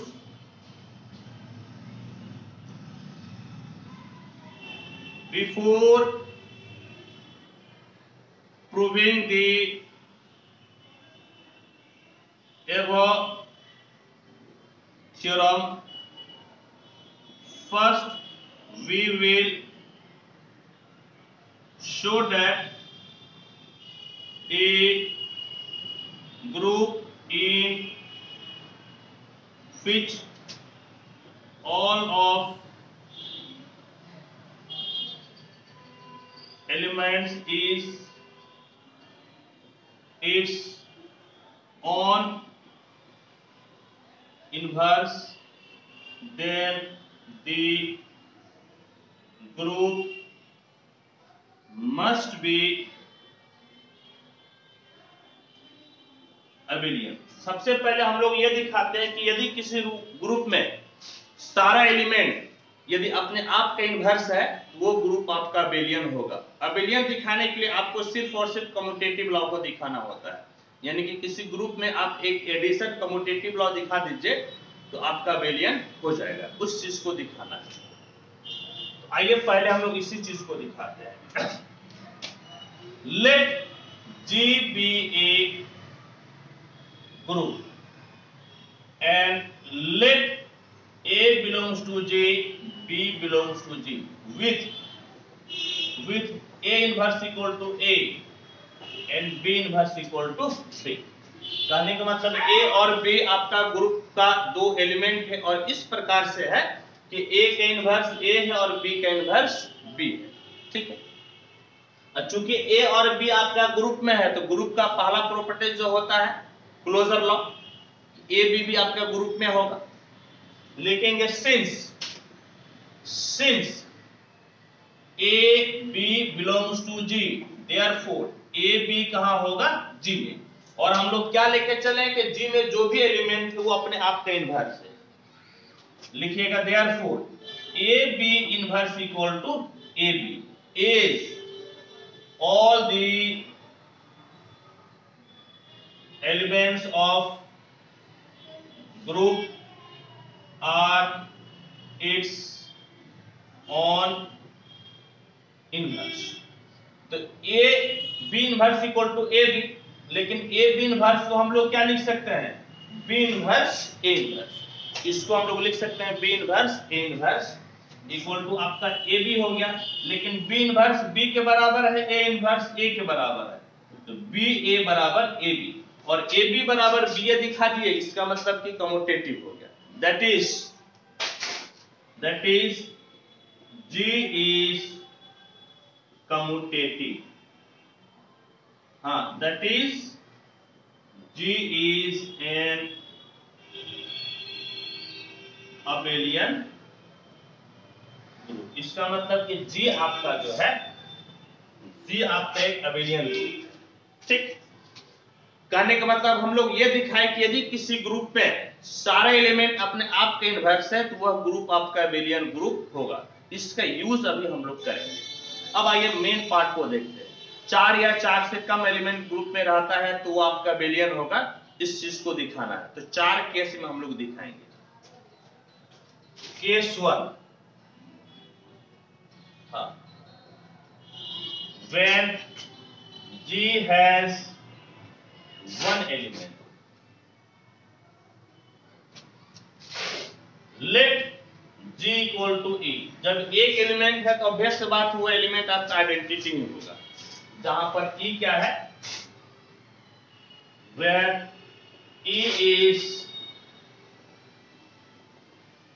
identity since E बराबर ई e, e बराबर चूंकि ई e, और ई आपका बराबर ही होगा दाएं का बाएं बाएं का दाएं इसका मतलब काउंटेटिव हो गया और इसीलिए आपका ग्रुप अबेलियन हो जाएगा therefore G is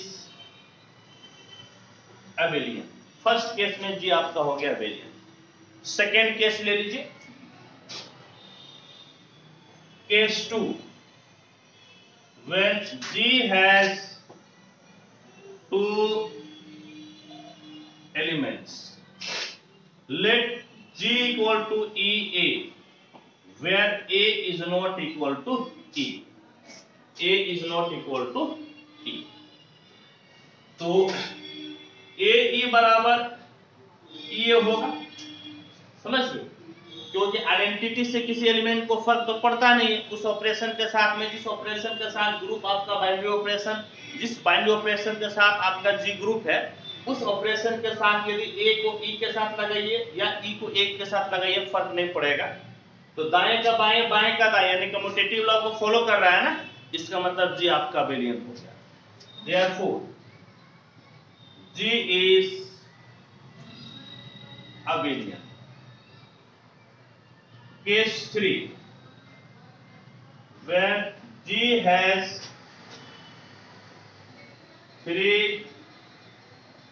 elements. Let G equal to E A B. G equal to E A B. We know हम लोग क्या जानते हैं कि E का इन्वर्स तो E के बराबर ही होगा अब दो चीज बनता है या तो ए और बी अपने आप का इनवर्स हो या का, या फिर ए के इनवर्स बी और बी के इनवर्स ए तो आइए दोनों केस में के चलते हैं इफ ए इनवर्स बराबर ए बी इनवर्स बराबर बी देन ई के इनवर्स ई ए के इनवर्स ए बी के इनवर्स बी यानी हर एक एलिमेंट अपने आप का इनवर्स है और अभी हम लोग दिखा चुके हैं यदि किसी ग्रुप में हर एक एलिमेंट अपने आप के इनवर्स रहे तो वह ग्रुप आपका बिलियन हो जाएगा लिखेगा therefore by above result G is abelian और यदि सेकेंड केस होगा तब एंड इफ ए इनवर्स बराबर बी हो जाए तब क्या होगा समझिए यदि ए इनवर्स बराबर बी हो जाए तब क्या होगा देन ए बी बराबर ए बी बराबर ए और बी के जगह ए इनवर्स यानी कि ई एंड बी ए बराबर क्या हो जाएगा तो बी ए बराबर हो जाएगा बी के जगह ए इनवर्स रख दीजिए ए इनवर्स ए बराबर E that is A B बराबर कितना हो गया बी ए बी बराबर बी लेकिन यहीं पर आपका कंप्लीट नहीं होता है आपको हर एलिमेंट के साथ कम्यूटेटिव दिखाना पड़ेगा अब देखिए और देखिए अल्सो ई ए बराबर ए ही हो जाएगा और ई e बी बराबर बीई तो A E E A A E B B बराबर हो गया और ए बी बी ए बराबर हो गया यानी कि हर एलिमेंट जो है कि अपने पेयर के साथ में आपका क्या है कमोटेटिव है और इसलिए ग्रुप आपका क्या हो गया कमोटेटिव ग्रुप कहने का मतलब आपका वेलियन ग्रुप हो गया लिखेगा therefore G is abelian इसलिए जी आप वेरिएबल गया तीन केस हो गया आप इसको नोट कीजिए और फिर आपको चौथा केस में बताता हूं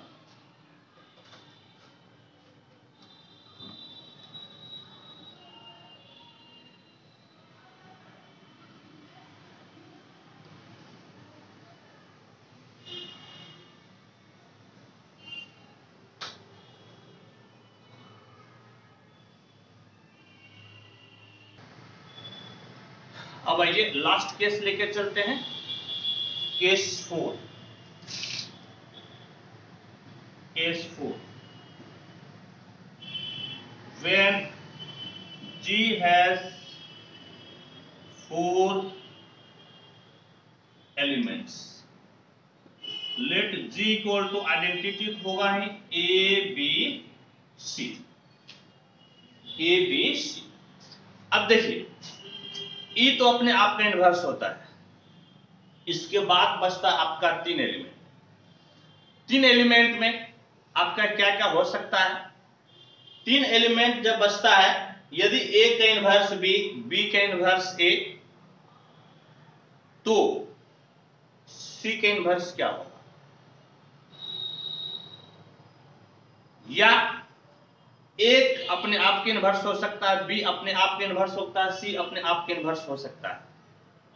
कहने का मतलब है कि आपका जब ऑड नंबर में बच जाए ई तो अपने आप के इनवर्स है इसको छोड़कर आपका तीन एलिमेंट बचता है इस तीन एलिमेंट में से कम से कम एक एलिमेंट अपने आप के इन्वर्स होना चाहिए क्या लिखेंगे since E inverse equal to E so there must be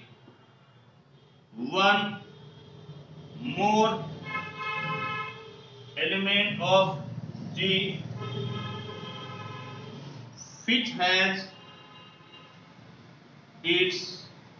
own inverse, and let it be A और मान लेते हैं कि वो आपका A that is A inverse बराबर ए इस चीज को हम लोग मान लेते हैं अब फिर आपका दो केस हो सकता है अब बी और सी बचा हो सकता है बी अपने आप के इनवर्स हो सी अपने आप के इनवर्स हो या फिर बी के इनवर्स सी और सी के इनवर्स बी तो दो केस बचता है पहले केस में ले लीजिए कि आपका बी कैनवर्स बी और सी कैनवर्स सी है if B inverse equal to B and C inverse equal to C then by above result जो हम लोग इसके पहले रिजल्ट दिखाए कि सारा एलिमेंट अपने आप के इनवर्स हो गया ना ई के इनवर्स ई ए के इनवर्स ए बी के इनवर्स बी सी के इनवर्स सी इसका मतलब कि ग्रुप आपका अबिलियन हो गया एवर एवर्जन G is abelian if been वर्ष बराबर सी अब दूसरा केस में यदि बीन वर्ष सी के बराबर है इंप्लाइज सीन वर्ष बराबर क्या हो जाएगा बी कहने का मतलब है बीन वर्ष सी यानी कि सी बराबर e यहां से sin वर्स बी यानी कि CB बराबर E दैट इज BC बराबर CB बराबर आपका हो गया E also A inverse A बराबर है A इनवर्स A बराबर है इसका मतलब कि A A बराबर क्या हो गया E इसका मतलब कि A A बराबर E इस केस में हम लोग कंपोजिशन टेबल कैसे बनाएंगे आइए हम लोग कंपोजिशन टेबल बनाते हैं in this case in this case composition table may be as follows इस प्रकार से हो सकता है कैसे तो देखिए E A B C E A B C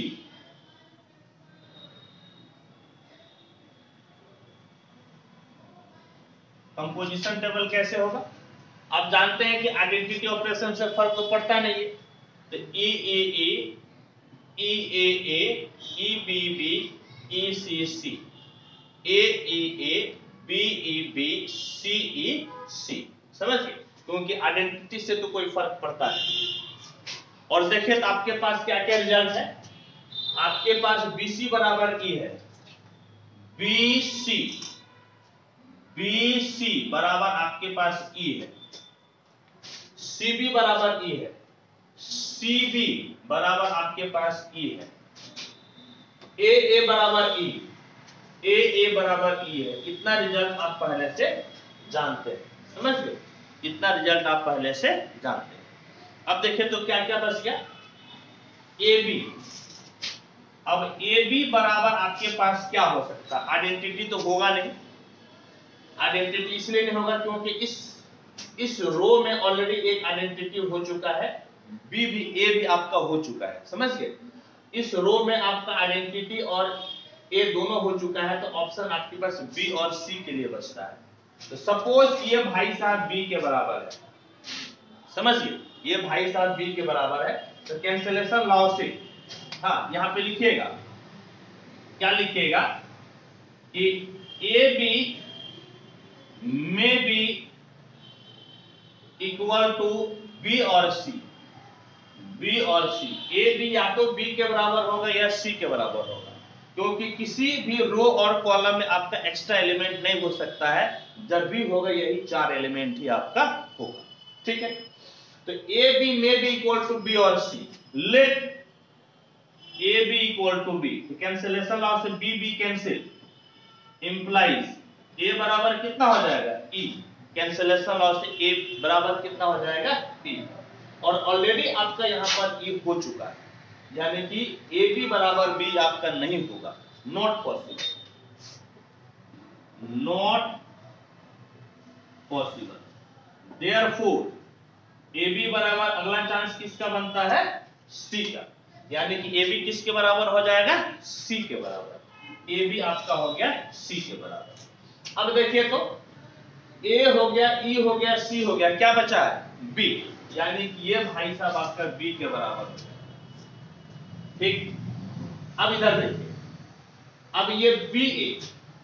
B A B आपका किसके बराबर हो जाएगा अभ्यस्त बात है अब बी ए बी ए के लिए तो देखिए बी और ई e तो ऑलरेडी ले चुके हैं ना तो बी ए बराबर ए और बी होने की चांसेस है बी ए बराबर आपका क्या होने का चांस है ए और सी ले बी ए बराबर A implies A A can see B बराबर कितना ई e। लेकिन बी तो आपका आइडेंटिटी बराबर हो ही नहीं सकता not possible not possible therefore B A बराबर कितना हो जाएगा सी तो बी ए बराबर सी हो गया किसकी कमी रह गई ए की कमी रह गई बी सी ई हो गया ए की कमी रह गई आप यहां पर लिख दीजिए ए और अब देखिए तो आप कैसे लीजिएगा अब कॉलम वाइज देखिए ए ई सी हो गया बी की कमी है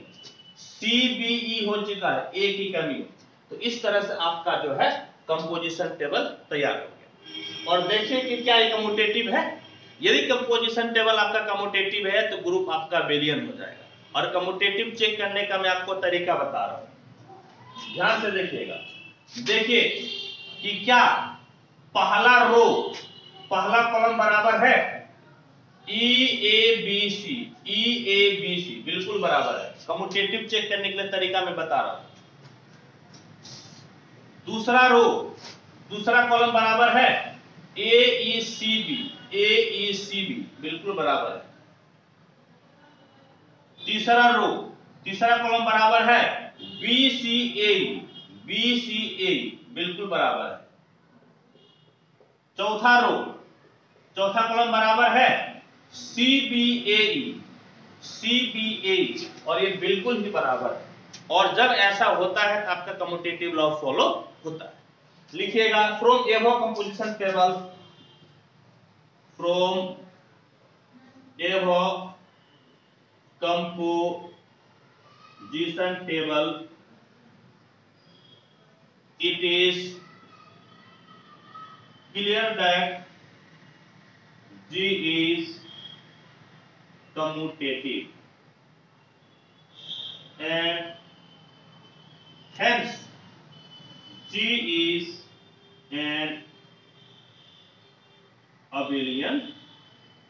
group इसीलिए जी आपका क्या हो गया अबेलियन ग्रुप तो हम लोग चारों केस में देख लिए समझ गए हम लोग जो है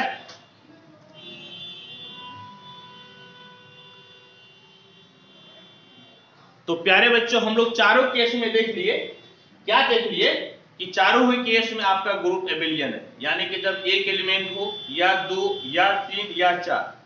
इस चारों केस में आपका ग्रुप क्या है अबेलियन है इस चीज को हम लोगों को दिखाना था होप कि अभी तक आपको कोई समस्या कोई परेशानी नहीं हुई होगी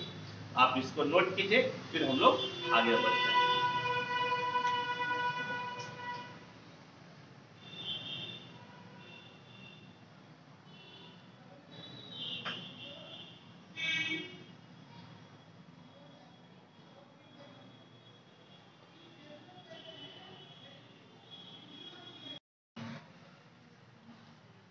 आइए अब हम लोग ग्रुप सी को पढ़ते हैं ग्रुप ए के क्वेश्चन को हम लोग कर लिए ग्रुप बी के क्वेश्चन को हम लोग सॉल्व कर लिए और ग्रुप सी के क्वेश्चन को हम लोग सॉल्व करेंगे ग्रुप ए में प्यारे बच्चों हम लोग तीन क्वेश्चन को सॉल्व किए थे ग्रुप बी में हम लोग एक क्वेश्चन को सॉल्व किए चार क्वेश्चन हो गया और ग्रुप ए बीस बल्कि सी से जैसा कि मैं आपको शुरू में ही प्रोमिस किया था हम लोग तीन क्वेश्चन पढ़ेंगे ग्रुप सी में आपको दो बुक होता है एक आपका मैट्रिक अलजबरा है और एक ट्रिगोनोमेट्री है इस दोनों को मिलाकर हम लोग तीन क्वेश्चन को सॉल्व करेंगे कैसे कैसे तो मैट्रिक्स अल्जेबरा से हम लोग दो क्वेश्चन को सॉल्व करेंगे और ट्रिगोनोमेट्री से एक क्वेश्चन यानी कि तीन क्वेश्चन को सॉल्व करेंगे जबकि ग्रुप सी में चार क्वेश्चन पूछता है तो हम लोगों का एम है सात क्वेश्चन सॉल्व करना सात क्वेश्चन की तैयारी करके जाएंगे तो सात क्वेश्चन बिल्कुल हम लोग तैयार कर लेंगे तो आइए ग्रुप सी से जो पहला क्वेश्चन है उसको मैं लिख दिया हूँ इसको हम लोग पढ़ते हैं समझते हैं और फिर हम लोग आगे बढ़ते हैं क्या कहता है so that the necessary and sufficient condition for a square matrix A to possess the inverse is that a का determinant is not equal to zero a का डिटर्मिनांट जीरो के बराबर नहीं है कहने का मतलब ये हुआ कि ये आपका कैसा मैट्रिक्स है ये आपका है नन सिंगुलर मैट्रिक्स समझ गए कैसा मैट्रिक्स है ये तो नन सिंगुलर मैट्रिक्स है तो हम लोगों को नेसेसरी एंड सफिशिएंट कंडीशन दिखाना है यानी कि हम लोगों को पहले दिखाना है कि यदि ए का इनवर्स संभव है तो ए का डिटर्मिनेंट जीरो के बराबर नहीं होगा फिर हम लोगों को दिखाना है यदि ए का डिटर्मिनेंट जीरो के बराबर नहीं है तो ए का इनवर्स संभव है हम लोगों को दोनों तरफ से दिखाना है तो आइए इसको हम लोग सॉल्व करते हैं proof let A be a square matrix and B be its inverse हम लोग फर्स्ट केस ले रहे हैं समझ गए हम लोग कौन सा केस ले रहे हैं फर्स्ट केस जो केस में हम लोगों को दिखाना है सब तो फर्स्ट केस ले रहे हैं हम लोग क्या किए कि ए आपका एक स्क्वायर मैट्रिक्स है और बी इसका क्या है इनवर्स है समझ गए देयर फोर देयर फोर आप जानते हैं कि मैट्रिक्स और उसके इनवर्स को आप मल्टीप्लाई कीजिएगा तो क्या मिल जाता है आइडेंटिटी समझ गए कोई मैट्रिक्स और उसके इनवर्स को मल्टीप्लाई करते हैं तो क्या मिलता है आइडेंटिटी यानी ए मैट्रिक्स है एक स्क्वायर मैट्रिक्स है बी उसका इनवर्स है तो ए बी आपका किसके बराबर हो जाएगा आई के बराबर अब दोनों तरफ डिटर्मिनांट ले लीजिए ए बी का determinant equal to identity matrix का डिटर्मिनांट और डिटर्मिनांट के प्रॉपर्टीज हम लोग जानते हैं कि दो अलग अलग भागों में ये बट जाएगा समझिए और डिटर्मिनांट के प्रॉपर्टीज से हम लोग जानते हैं कि आइडेंटिटी मैट्रिक्स का डिटर्मिनेंट कितना होता है यूनिटी यानी कि वन होता है कहने का मतलब है कि आपका ए का डिटर्मिनेंट बी का डिटर्मिनेंट किसके बराबर हो गया वन के बराबर और जब आप दो संख्या को जब आप दो नंबर को मल्टीप्लाई करते हैं और रिजल्ट आपका वन आता है तो यह श्योर है कि ना तो ए जीरो के बराबर होगा और न ही बी जीरो के बराबर होगा यानी ना तो ए का डिटर्मिनेंट जीरो के बराबर होगा और ना ही बी का डिटर्मिनेंट जीरो के बराबर होगा तो क्या लिखेंगे लिखेंगे देयर फोर ए का डिटर्मिनेंट जीरो के बराबर नहीं होगा that is A is non singular यानी कि ए कौन सा मैट्रिक्स हो गया तो ए आपका हो गया नन सिंगुलर मैट्रिक्स समझ गए ए आपका हो गया non singular matrix second case लेके चलिए और प्यारे बच्चों में आपको बता दूं मैं बता दूं कि ये क्वेश्चन का प्रूफ बहुत ही छोटा होता है बहुत बड़ा प्रूफ नहीं होता है तो हम्म। मैं आपको कहूंगा कि इसके प्रूफ के लिए आप पहले एक बार इन्वर्स ऑफ ए मैट्रिक्स को डिफाइन कर दीजिएगा समझ गए मैं आपको बता देता हूं कि इसके प्रूफ से पहले चूंकि इसका प्रूफ बहुत ही छोटा होगा तो इसके प्रूफ से पहले आप इन्वर्स ऑफ ए मैट्रिक्स को डिफाइन कर दीजिएगा तो बेहतर होगा तब आप जस्टिफाई कर सकते हैं कि आपको आठ में आठ नंबर आएगा नहीं तो इसका जो प्रूफ है इसके प्रूफ में आपको आठ नंबर मिलने वाला नहीं है मुश्किल से दो पेज में इसका प्रूफ हो जाता है इसीलिए आप नोट कर लीजिए कि इसके प्रूफ से पहले आपको इनवर्स ऑफ मैट्रिक्स जरूर डिफाइन कर दीजिएगा तभी आठ में आठ नंबर आप जस्टिफाई कर पाइएगा ठीक अब देखिए अब सेकेंड पार्ट क्या हो गया केस टू केस टू हाँ केस टू में when A inverse is not equal to 0. That is, when A is non singular. जब A आपका non singular हो समझ गए A non singular हो यानी कि A का determinant जीरो के बराबर नहीं हो तब क्या करना है वी नो वी नो हम लोग जानते हैं कि A adjoint A equal to adjoint A A equal to A का डिटर्मिनेंट और आई होता है ये चीज हम लोग जानते हैं गए इस चीज को हम लोग पहले सिद्ध कर चुके हैं और आप यहां पर जानते हैं कि ए का डिटर्मिनेंट जीरो के बराबर नहीं है और जब कोई चीज जीरो के बराबर नहीं हो तो आप दोनों तरफ बल्कि तीनों तरफ यहां पर आप इससे भाग दे सकते हैं लिखे डिवाइडिंग बाय ए का डिटरमिनेंट तो क्या हो जाएगा A adjoint A by A का determinant equal to adjoint A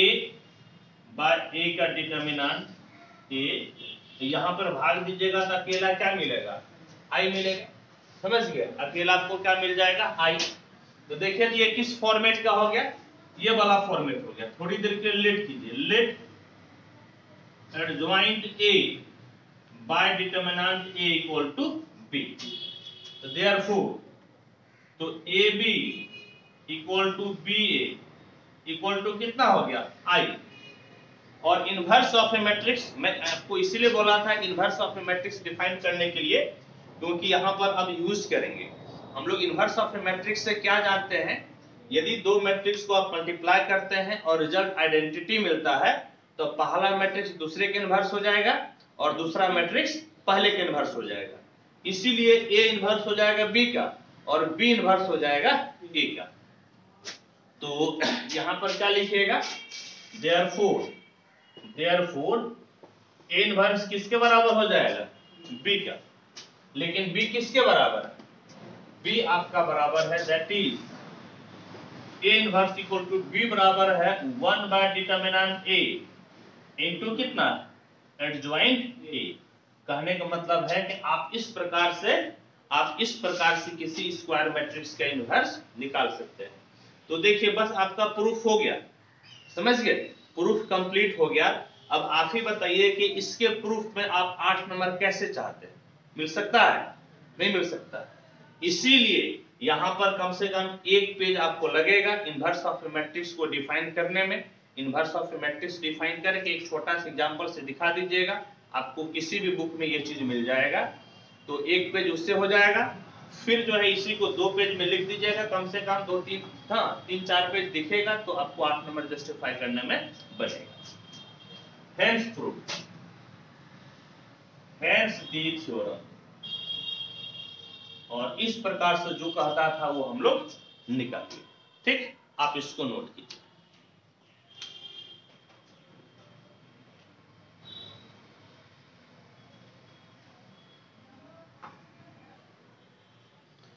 आइए नेक्स्ट क्वेश्चन पढ़ते हैं क्या कहता है कि एक फोर क्रॉस फोर का एक स्क्वायर मैट्रिक्स है और इसका कहता है कि आपको क्या निकालना है आपको निकालना है रैंक तो याद कीजिए रैंक निकालने के लिए हम लोग या तो डिटर्मिनाट मेथड यूज कर सकते हैं जिसको कि हम लोग डायरेक्ट मेथड भी बोलते हैं या फिर इचलन फॉर्म में लाकर हम लोग निकाल सकते हैं या फिर नॉर्मल फॉर्म या जिसको कैनोनिकल फॉर्म बोलते हैं उसके माध्यम से हम लोग निकाल सकते हैं और बेहतर पार्ट ये है कि यहाँ पे मेंशन नहीं किया है कि आपको किस मेथड से निकालना है तो डायरेक्ट मेथड जो होता है डिटर्मिनेंट मेथड वो आपका थ्री क्रॉस थ्री मैट्रिक्स के लिए ही ज़्यादा उचित होता है इससे ज़्यादा में आपको मुश्किल हो जाएगा तो बेस्ट होगा कि हम लोग इसको इचलेन फॉर्म से निकालते हैं तो क्या होता है फॉर्मेट आइए हम लोग सीखते हैं पहला बोलिए तो क्या टारगेट है फर्स्ट टारगेट इस कोने पर एक लाना होता है तो रो की मदद से लाइए इस दोनों को आपस में इंटरचेंज कर दीजिए समझ गए यानी कि R1 को चेंज कीजिए R3 से समझ गए या आप ऐसे भी कर सकते हैं जैसे दो से भाग दीजिएगा ना तो देखिए यहाँ पर भी एक हो जाएगा यहाँ पर माइनस एक यहाँ पर टी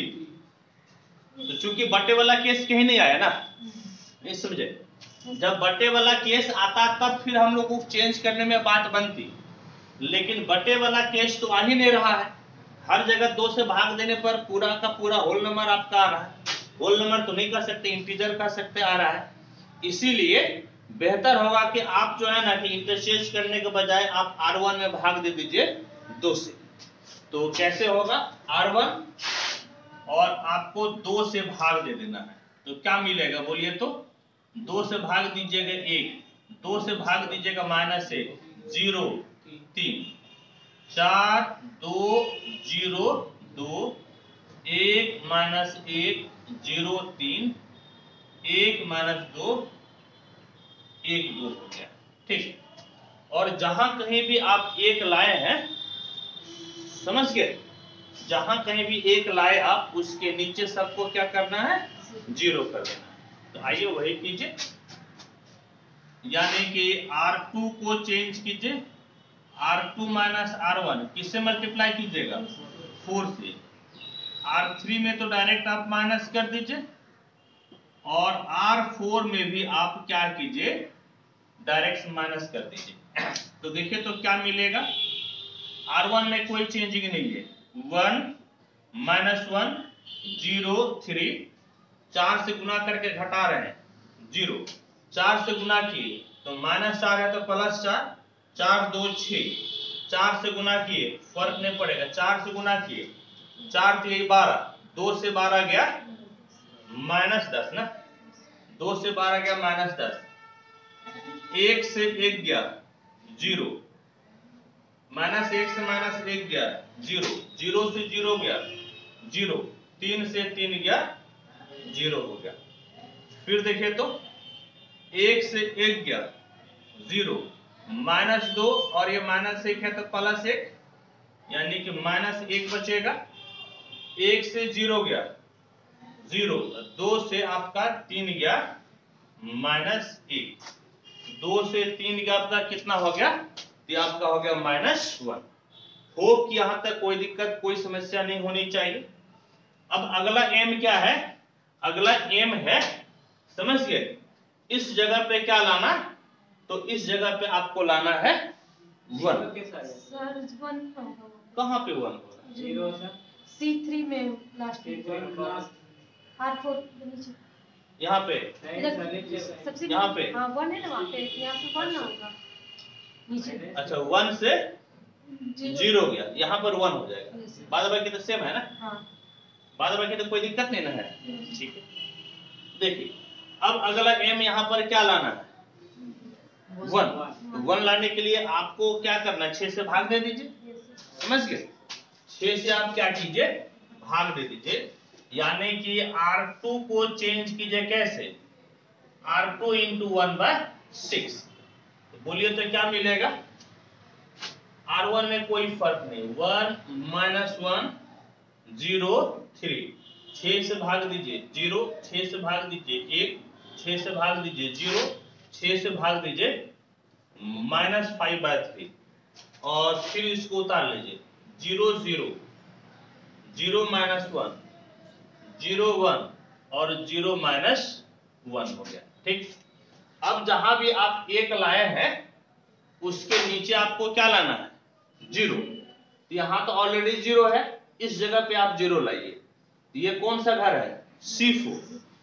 सी फोर नहीं आर फोर R4 को चेंज कीजिए कैसे आप R2 को सिंपली जोड़ दीजिएगा तो कितना आ जाएगा जीरो आ जाएगा हाँ या नहीं तो देखिए तो क्या मिलेगा one minus one zero three zero one zero minus five by three इसमें तो कोई फर्क नहीं पड़ेगा और जो है इसमें क्या कीजिएगा इसमें से जो है आप इसको लाकर यहां जोड़ रहे हैं जीरो इसको लाकर जोड़ रहे हैं जीरो इसके लाकर जोड़ रहे हैं वन इसको लाकर जोड़ रहे हैं तो देखिए तो इधर minus five by three minus one तीन एकम तीन पांच तीन आठ माइनस एट बाय थ्री हो गया समझ गए आपका कितना हो गया तो माइनस एट बाय थ्री ठीक अब अगला स्टेप आपका क्या होना चाहिए अगला स्टेप अब यहाँ पर एक आना चाहिए ये तो है नहीं तो कंप्यूटर जीरो है तो इस दोनों को आपस में आप इंटरचेंज कर दीजिए समझ गए यानी कि आर थ्री को चेंज कीजिए आर फोर से और आर फोर को चेंज कीजिए आर थ्री से तो क्या मिलेगा देखिए तो तो one minus one zero three zero one zero minus five by three zero zero one minus eight by three और आपका नीचे आ गया जीरो जीरो जीरो जीरो ठीक और अब देखिए तो क्या ये इचलन फॉर्म में आ गया देखिए तो एक नीचे जीरो एक नीचे जीरो एक नीचे जीरो कंप्लीट आपके इचलन फॉर्म में आ चुका है हाँ या नहीं जब ये इचलन फॉर्म में आ चुका है तो आप बताइए कि कितना ऐसा रो मिला जो कंप्लीट जीरो है एक रो मिला नहीं और इसमें कितना टोटल रो है चार रो है एक दो तीन चार चार रो है और एक कंप्लीट रो आपका कितना हो गया जीरो तो रैंक कितना मिलेगा तीन लिखेगा therefore rank of A equal to therefore rank of A यानी कि रो ए यानी कि four minus one four minus one equal to three यानी कि तीन आपको क्या मिल गया तो तीन इसका इस मैट्रिक्स का रैंक हो गया इसको आप नोट कीजिए और फिर हम लोग आगे बढ़ते हैं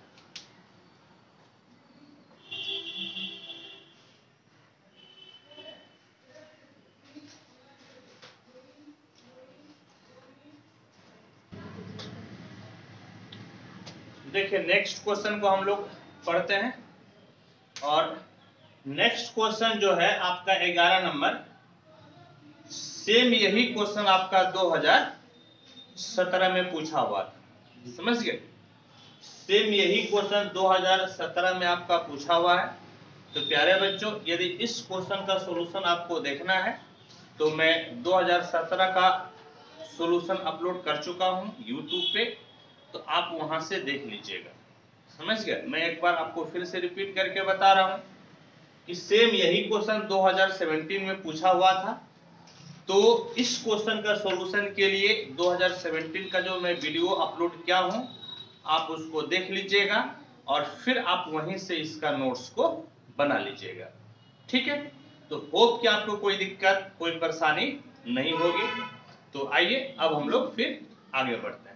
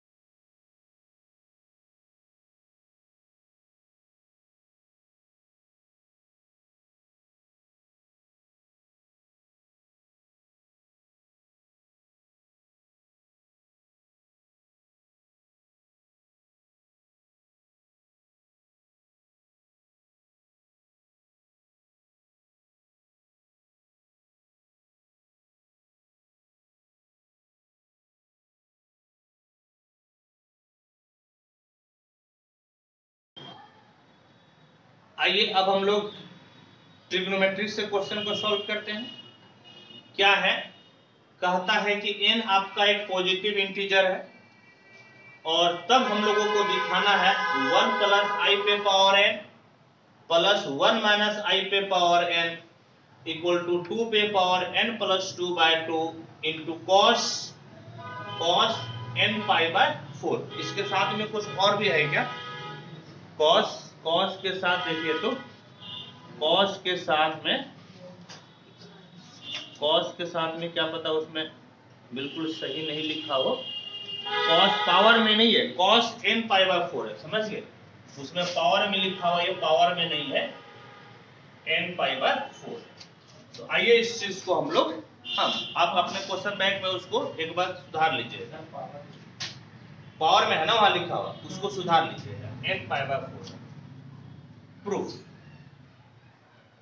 समझ गए प्रूफ तो देखिए कैसे प्रूफ कीजिएगा तो इसमें एल एच एस लेकर आप आगे बढ़िए ठीक L H S equal to क्या हो जाएगा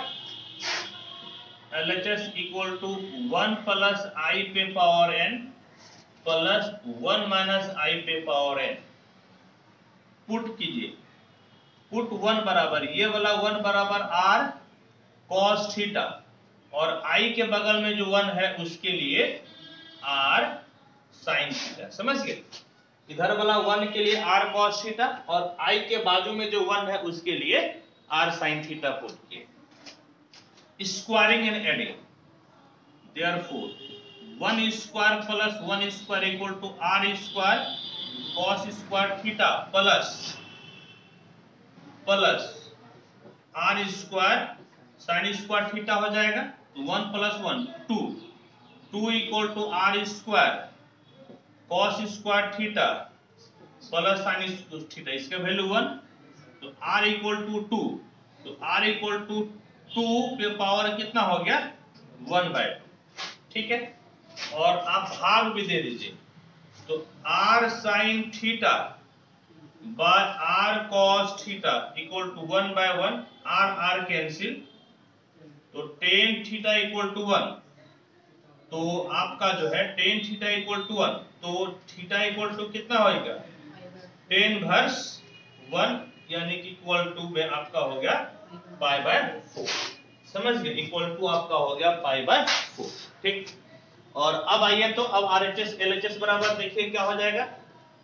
therefore L H S equal to one के जगह पे r cos theta plus i के बगल में वन है उसके जगह पे आर साइन थीटा और साथ में आई इस पे पावर एन प्लस सेम चीज r cos theta minus r sine theta और आई पे पावर एन आप ऐसा कीजिए आर कॉमन ले लीजिए तो आर पे पावर एन आपका बाहर आ जाएगा और फिर क्या हो जाएगा cos theta plus i sine theta पे पावर एन आर कॉमन ले लीजिए cos theta minus i sine theta पे पावर एन और डिमोवर्स थ्योरम क्या कहता है कि पावर जो है एंगल के साथ मल्टीप्लाई हो जाएगा यानी कि आर पे power n cos n theta plus i sine n theta plus r पे power n cos n theta minus i sine n theta हो गया आर पे पावर एन कॉमन ले लीजिए cos n theta plus i sine n theta plus cos n theta minus i sine n theta हो गया ये दोनों भाई साहब कैंसिल आर पे power n into two cos n theta r की जगह पे क्या रखिएगा टू पे पावर हाफ आर के जगह पे टू पे पावर हाफ और इस पे power n into two cos n और थीटा के जगह पे पाई बाय फोर है थीटा के जगह पे पाई बाय फोर तो टू पे पावर यहाँ पर कितना हो गया एन बाय टू और ये भाई साहब कितना हो गया प्लस टू और साथ ही साथ आपका cos n pi by four कहने का मतलब है टू यदि यहाँ पे एल्सियम ले लेते हैं तो टू पे पावर एन प्लस कितना हो जाएगा n plus four n plus अच्छा यहाँ पे पावर एक ना है पावर एक है है ना दो पे एक ही पावर है ना तो यहाँ पर कितना हो जाए n plus two by two two cos n pi by four और देख लीजिए कि आपका क्या हो गया आर एच एस समझ गए ये आपका आ गया R H S hence proof hence इसको आप नोट कीजिए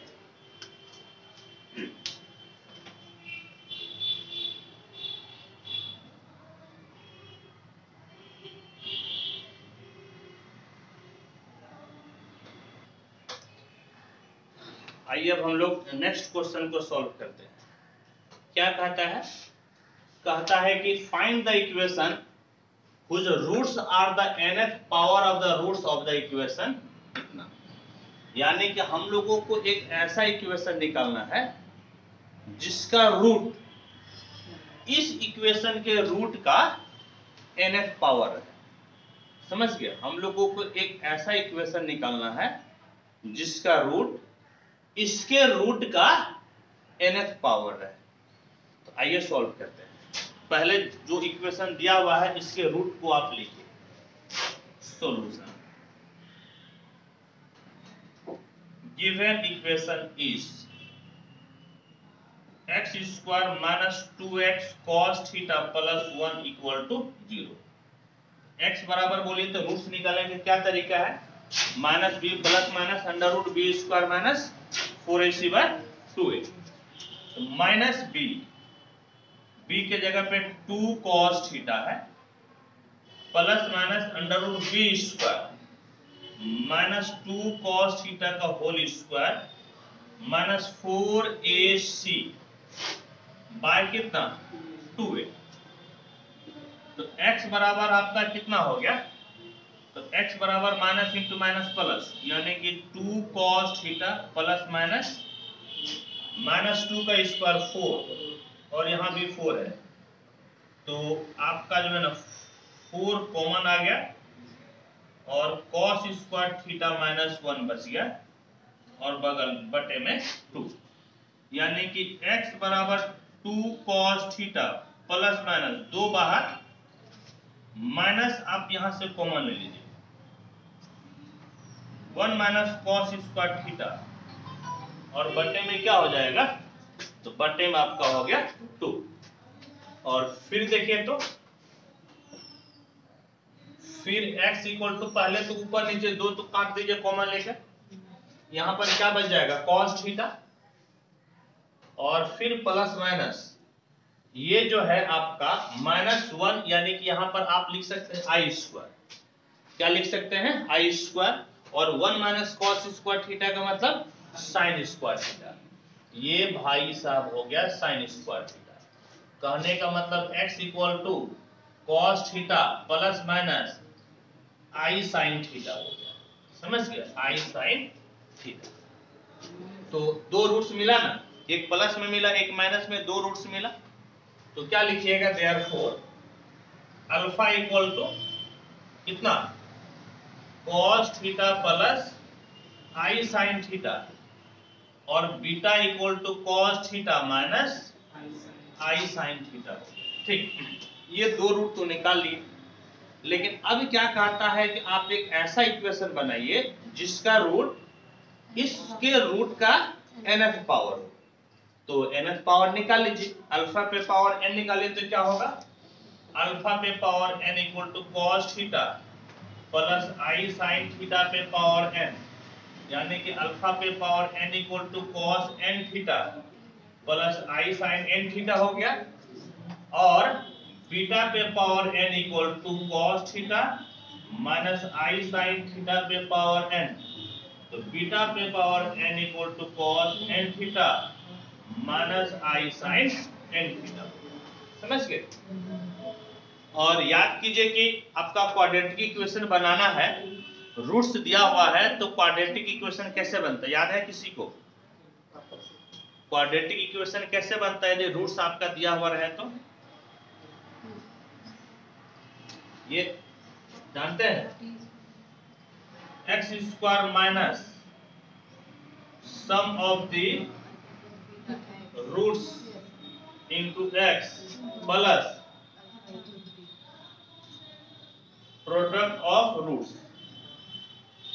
equal to कितना जीरो यानी इस तरह से x square minus alpha plus beta x plus alpha beta equal to zero ये जो है आपका फॉर्मेट होता है समझ गए तो यहाँ पर भी आपको वही करना पड़ेगा पहले सम ऑफ रूट्स निकालना पड़ेगा तो आपका क्या हो जाएगा अल्फा पे पावर एन प्लस बीटा पे पावर एन इक्वल टू ये आपका हो गया cos n theta plus i sine n theta और बीटा पे पावर एन का मतलब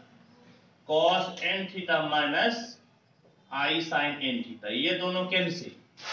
यानी कि अल्फा पे पावर एन बीटा पे पावर एन बराबर टू कॉस एन थीटा अब प्रोडक्ट ऑफ फ्रूट्स निकालिए अल्फा पे पावर एन बीटा पे पावर एन बराबर cos n theta plus plus हाँ बल्कि प्लस ही है प्लस कितना आई साइन एन थीटा और फिर आपका हो गया cos n theta minus i sine n theta a plus b into a minus b a square minus b square यानी कि cos square n theta minus i square sin square n theta i square minus one minus into minus plus cos square n theta plus sine square n theta sine square कितना हो गया n theta और ये किसके बराबर one के बराबर यानी कि अल्फा पे पावर एन इंटू बीटा पे पावर एन इक्वल टू हो गया वन लिखे गए the required equation is hence the required quadratic equation will be क्या हो जाएगा एक्स स्क्वायर माइनस अल्फा पे पावर एन प्लस बीटा पे power n x plus alpha पे पावर एन बीटा पे power n equal to zero यानी कि x square minus इसका वैल्यू क्या आया टू कॉस एन थीटा यानी कि two cos n theta x अब प्लस अल्फा पे पावर एन बीटा पे पावर एन किसके बराबर है वन के बराबर वन इक्वल टू जीरो यही आपका रिक्वायर्ड इक्वेशन हो गया यही चीज हम लोगों से पूछ रहा समझ गए तो इस प्रकार से होप कि आपको कोई दिक्कत कोई परेशानी नहीं हुई होगी प्यारे बच्चों तो इस प्रकार से देखिए कि ग्रुप ए से हम लोग तीन क्वेश्चन सॉल्व कर लिए ग्रुप बी से हम लोग एक क्वेश्चन सॉल्व किए चार क्वेश्चन और ग्रुप सी से हम लोग तीन क्वेश्चन सॉल्व किए तो चार तीन सात क्वेश्चन हो गया होप कि 2016 जो मैं आपको बताया आपको बहुत ही मजा आया होगा आप अच्छी तरह से समझे होंगे तो अब आप इसको नोट कीजिए और फिर हम लोग अगले साल के लिए बढ़ते हैं तब तक के लिए थैंक यू धन्यवाद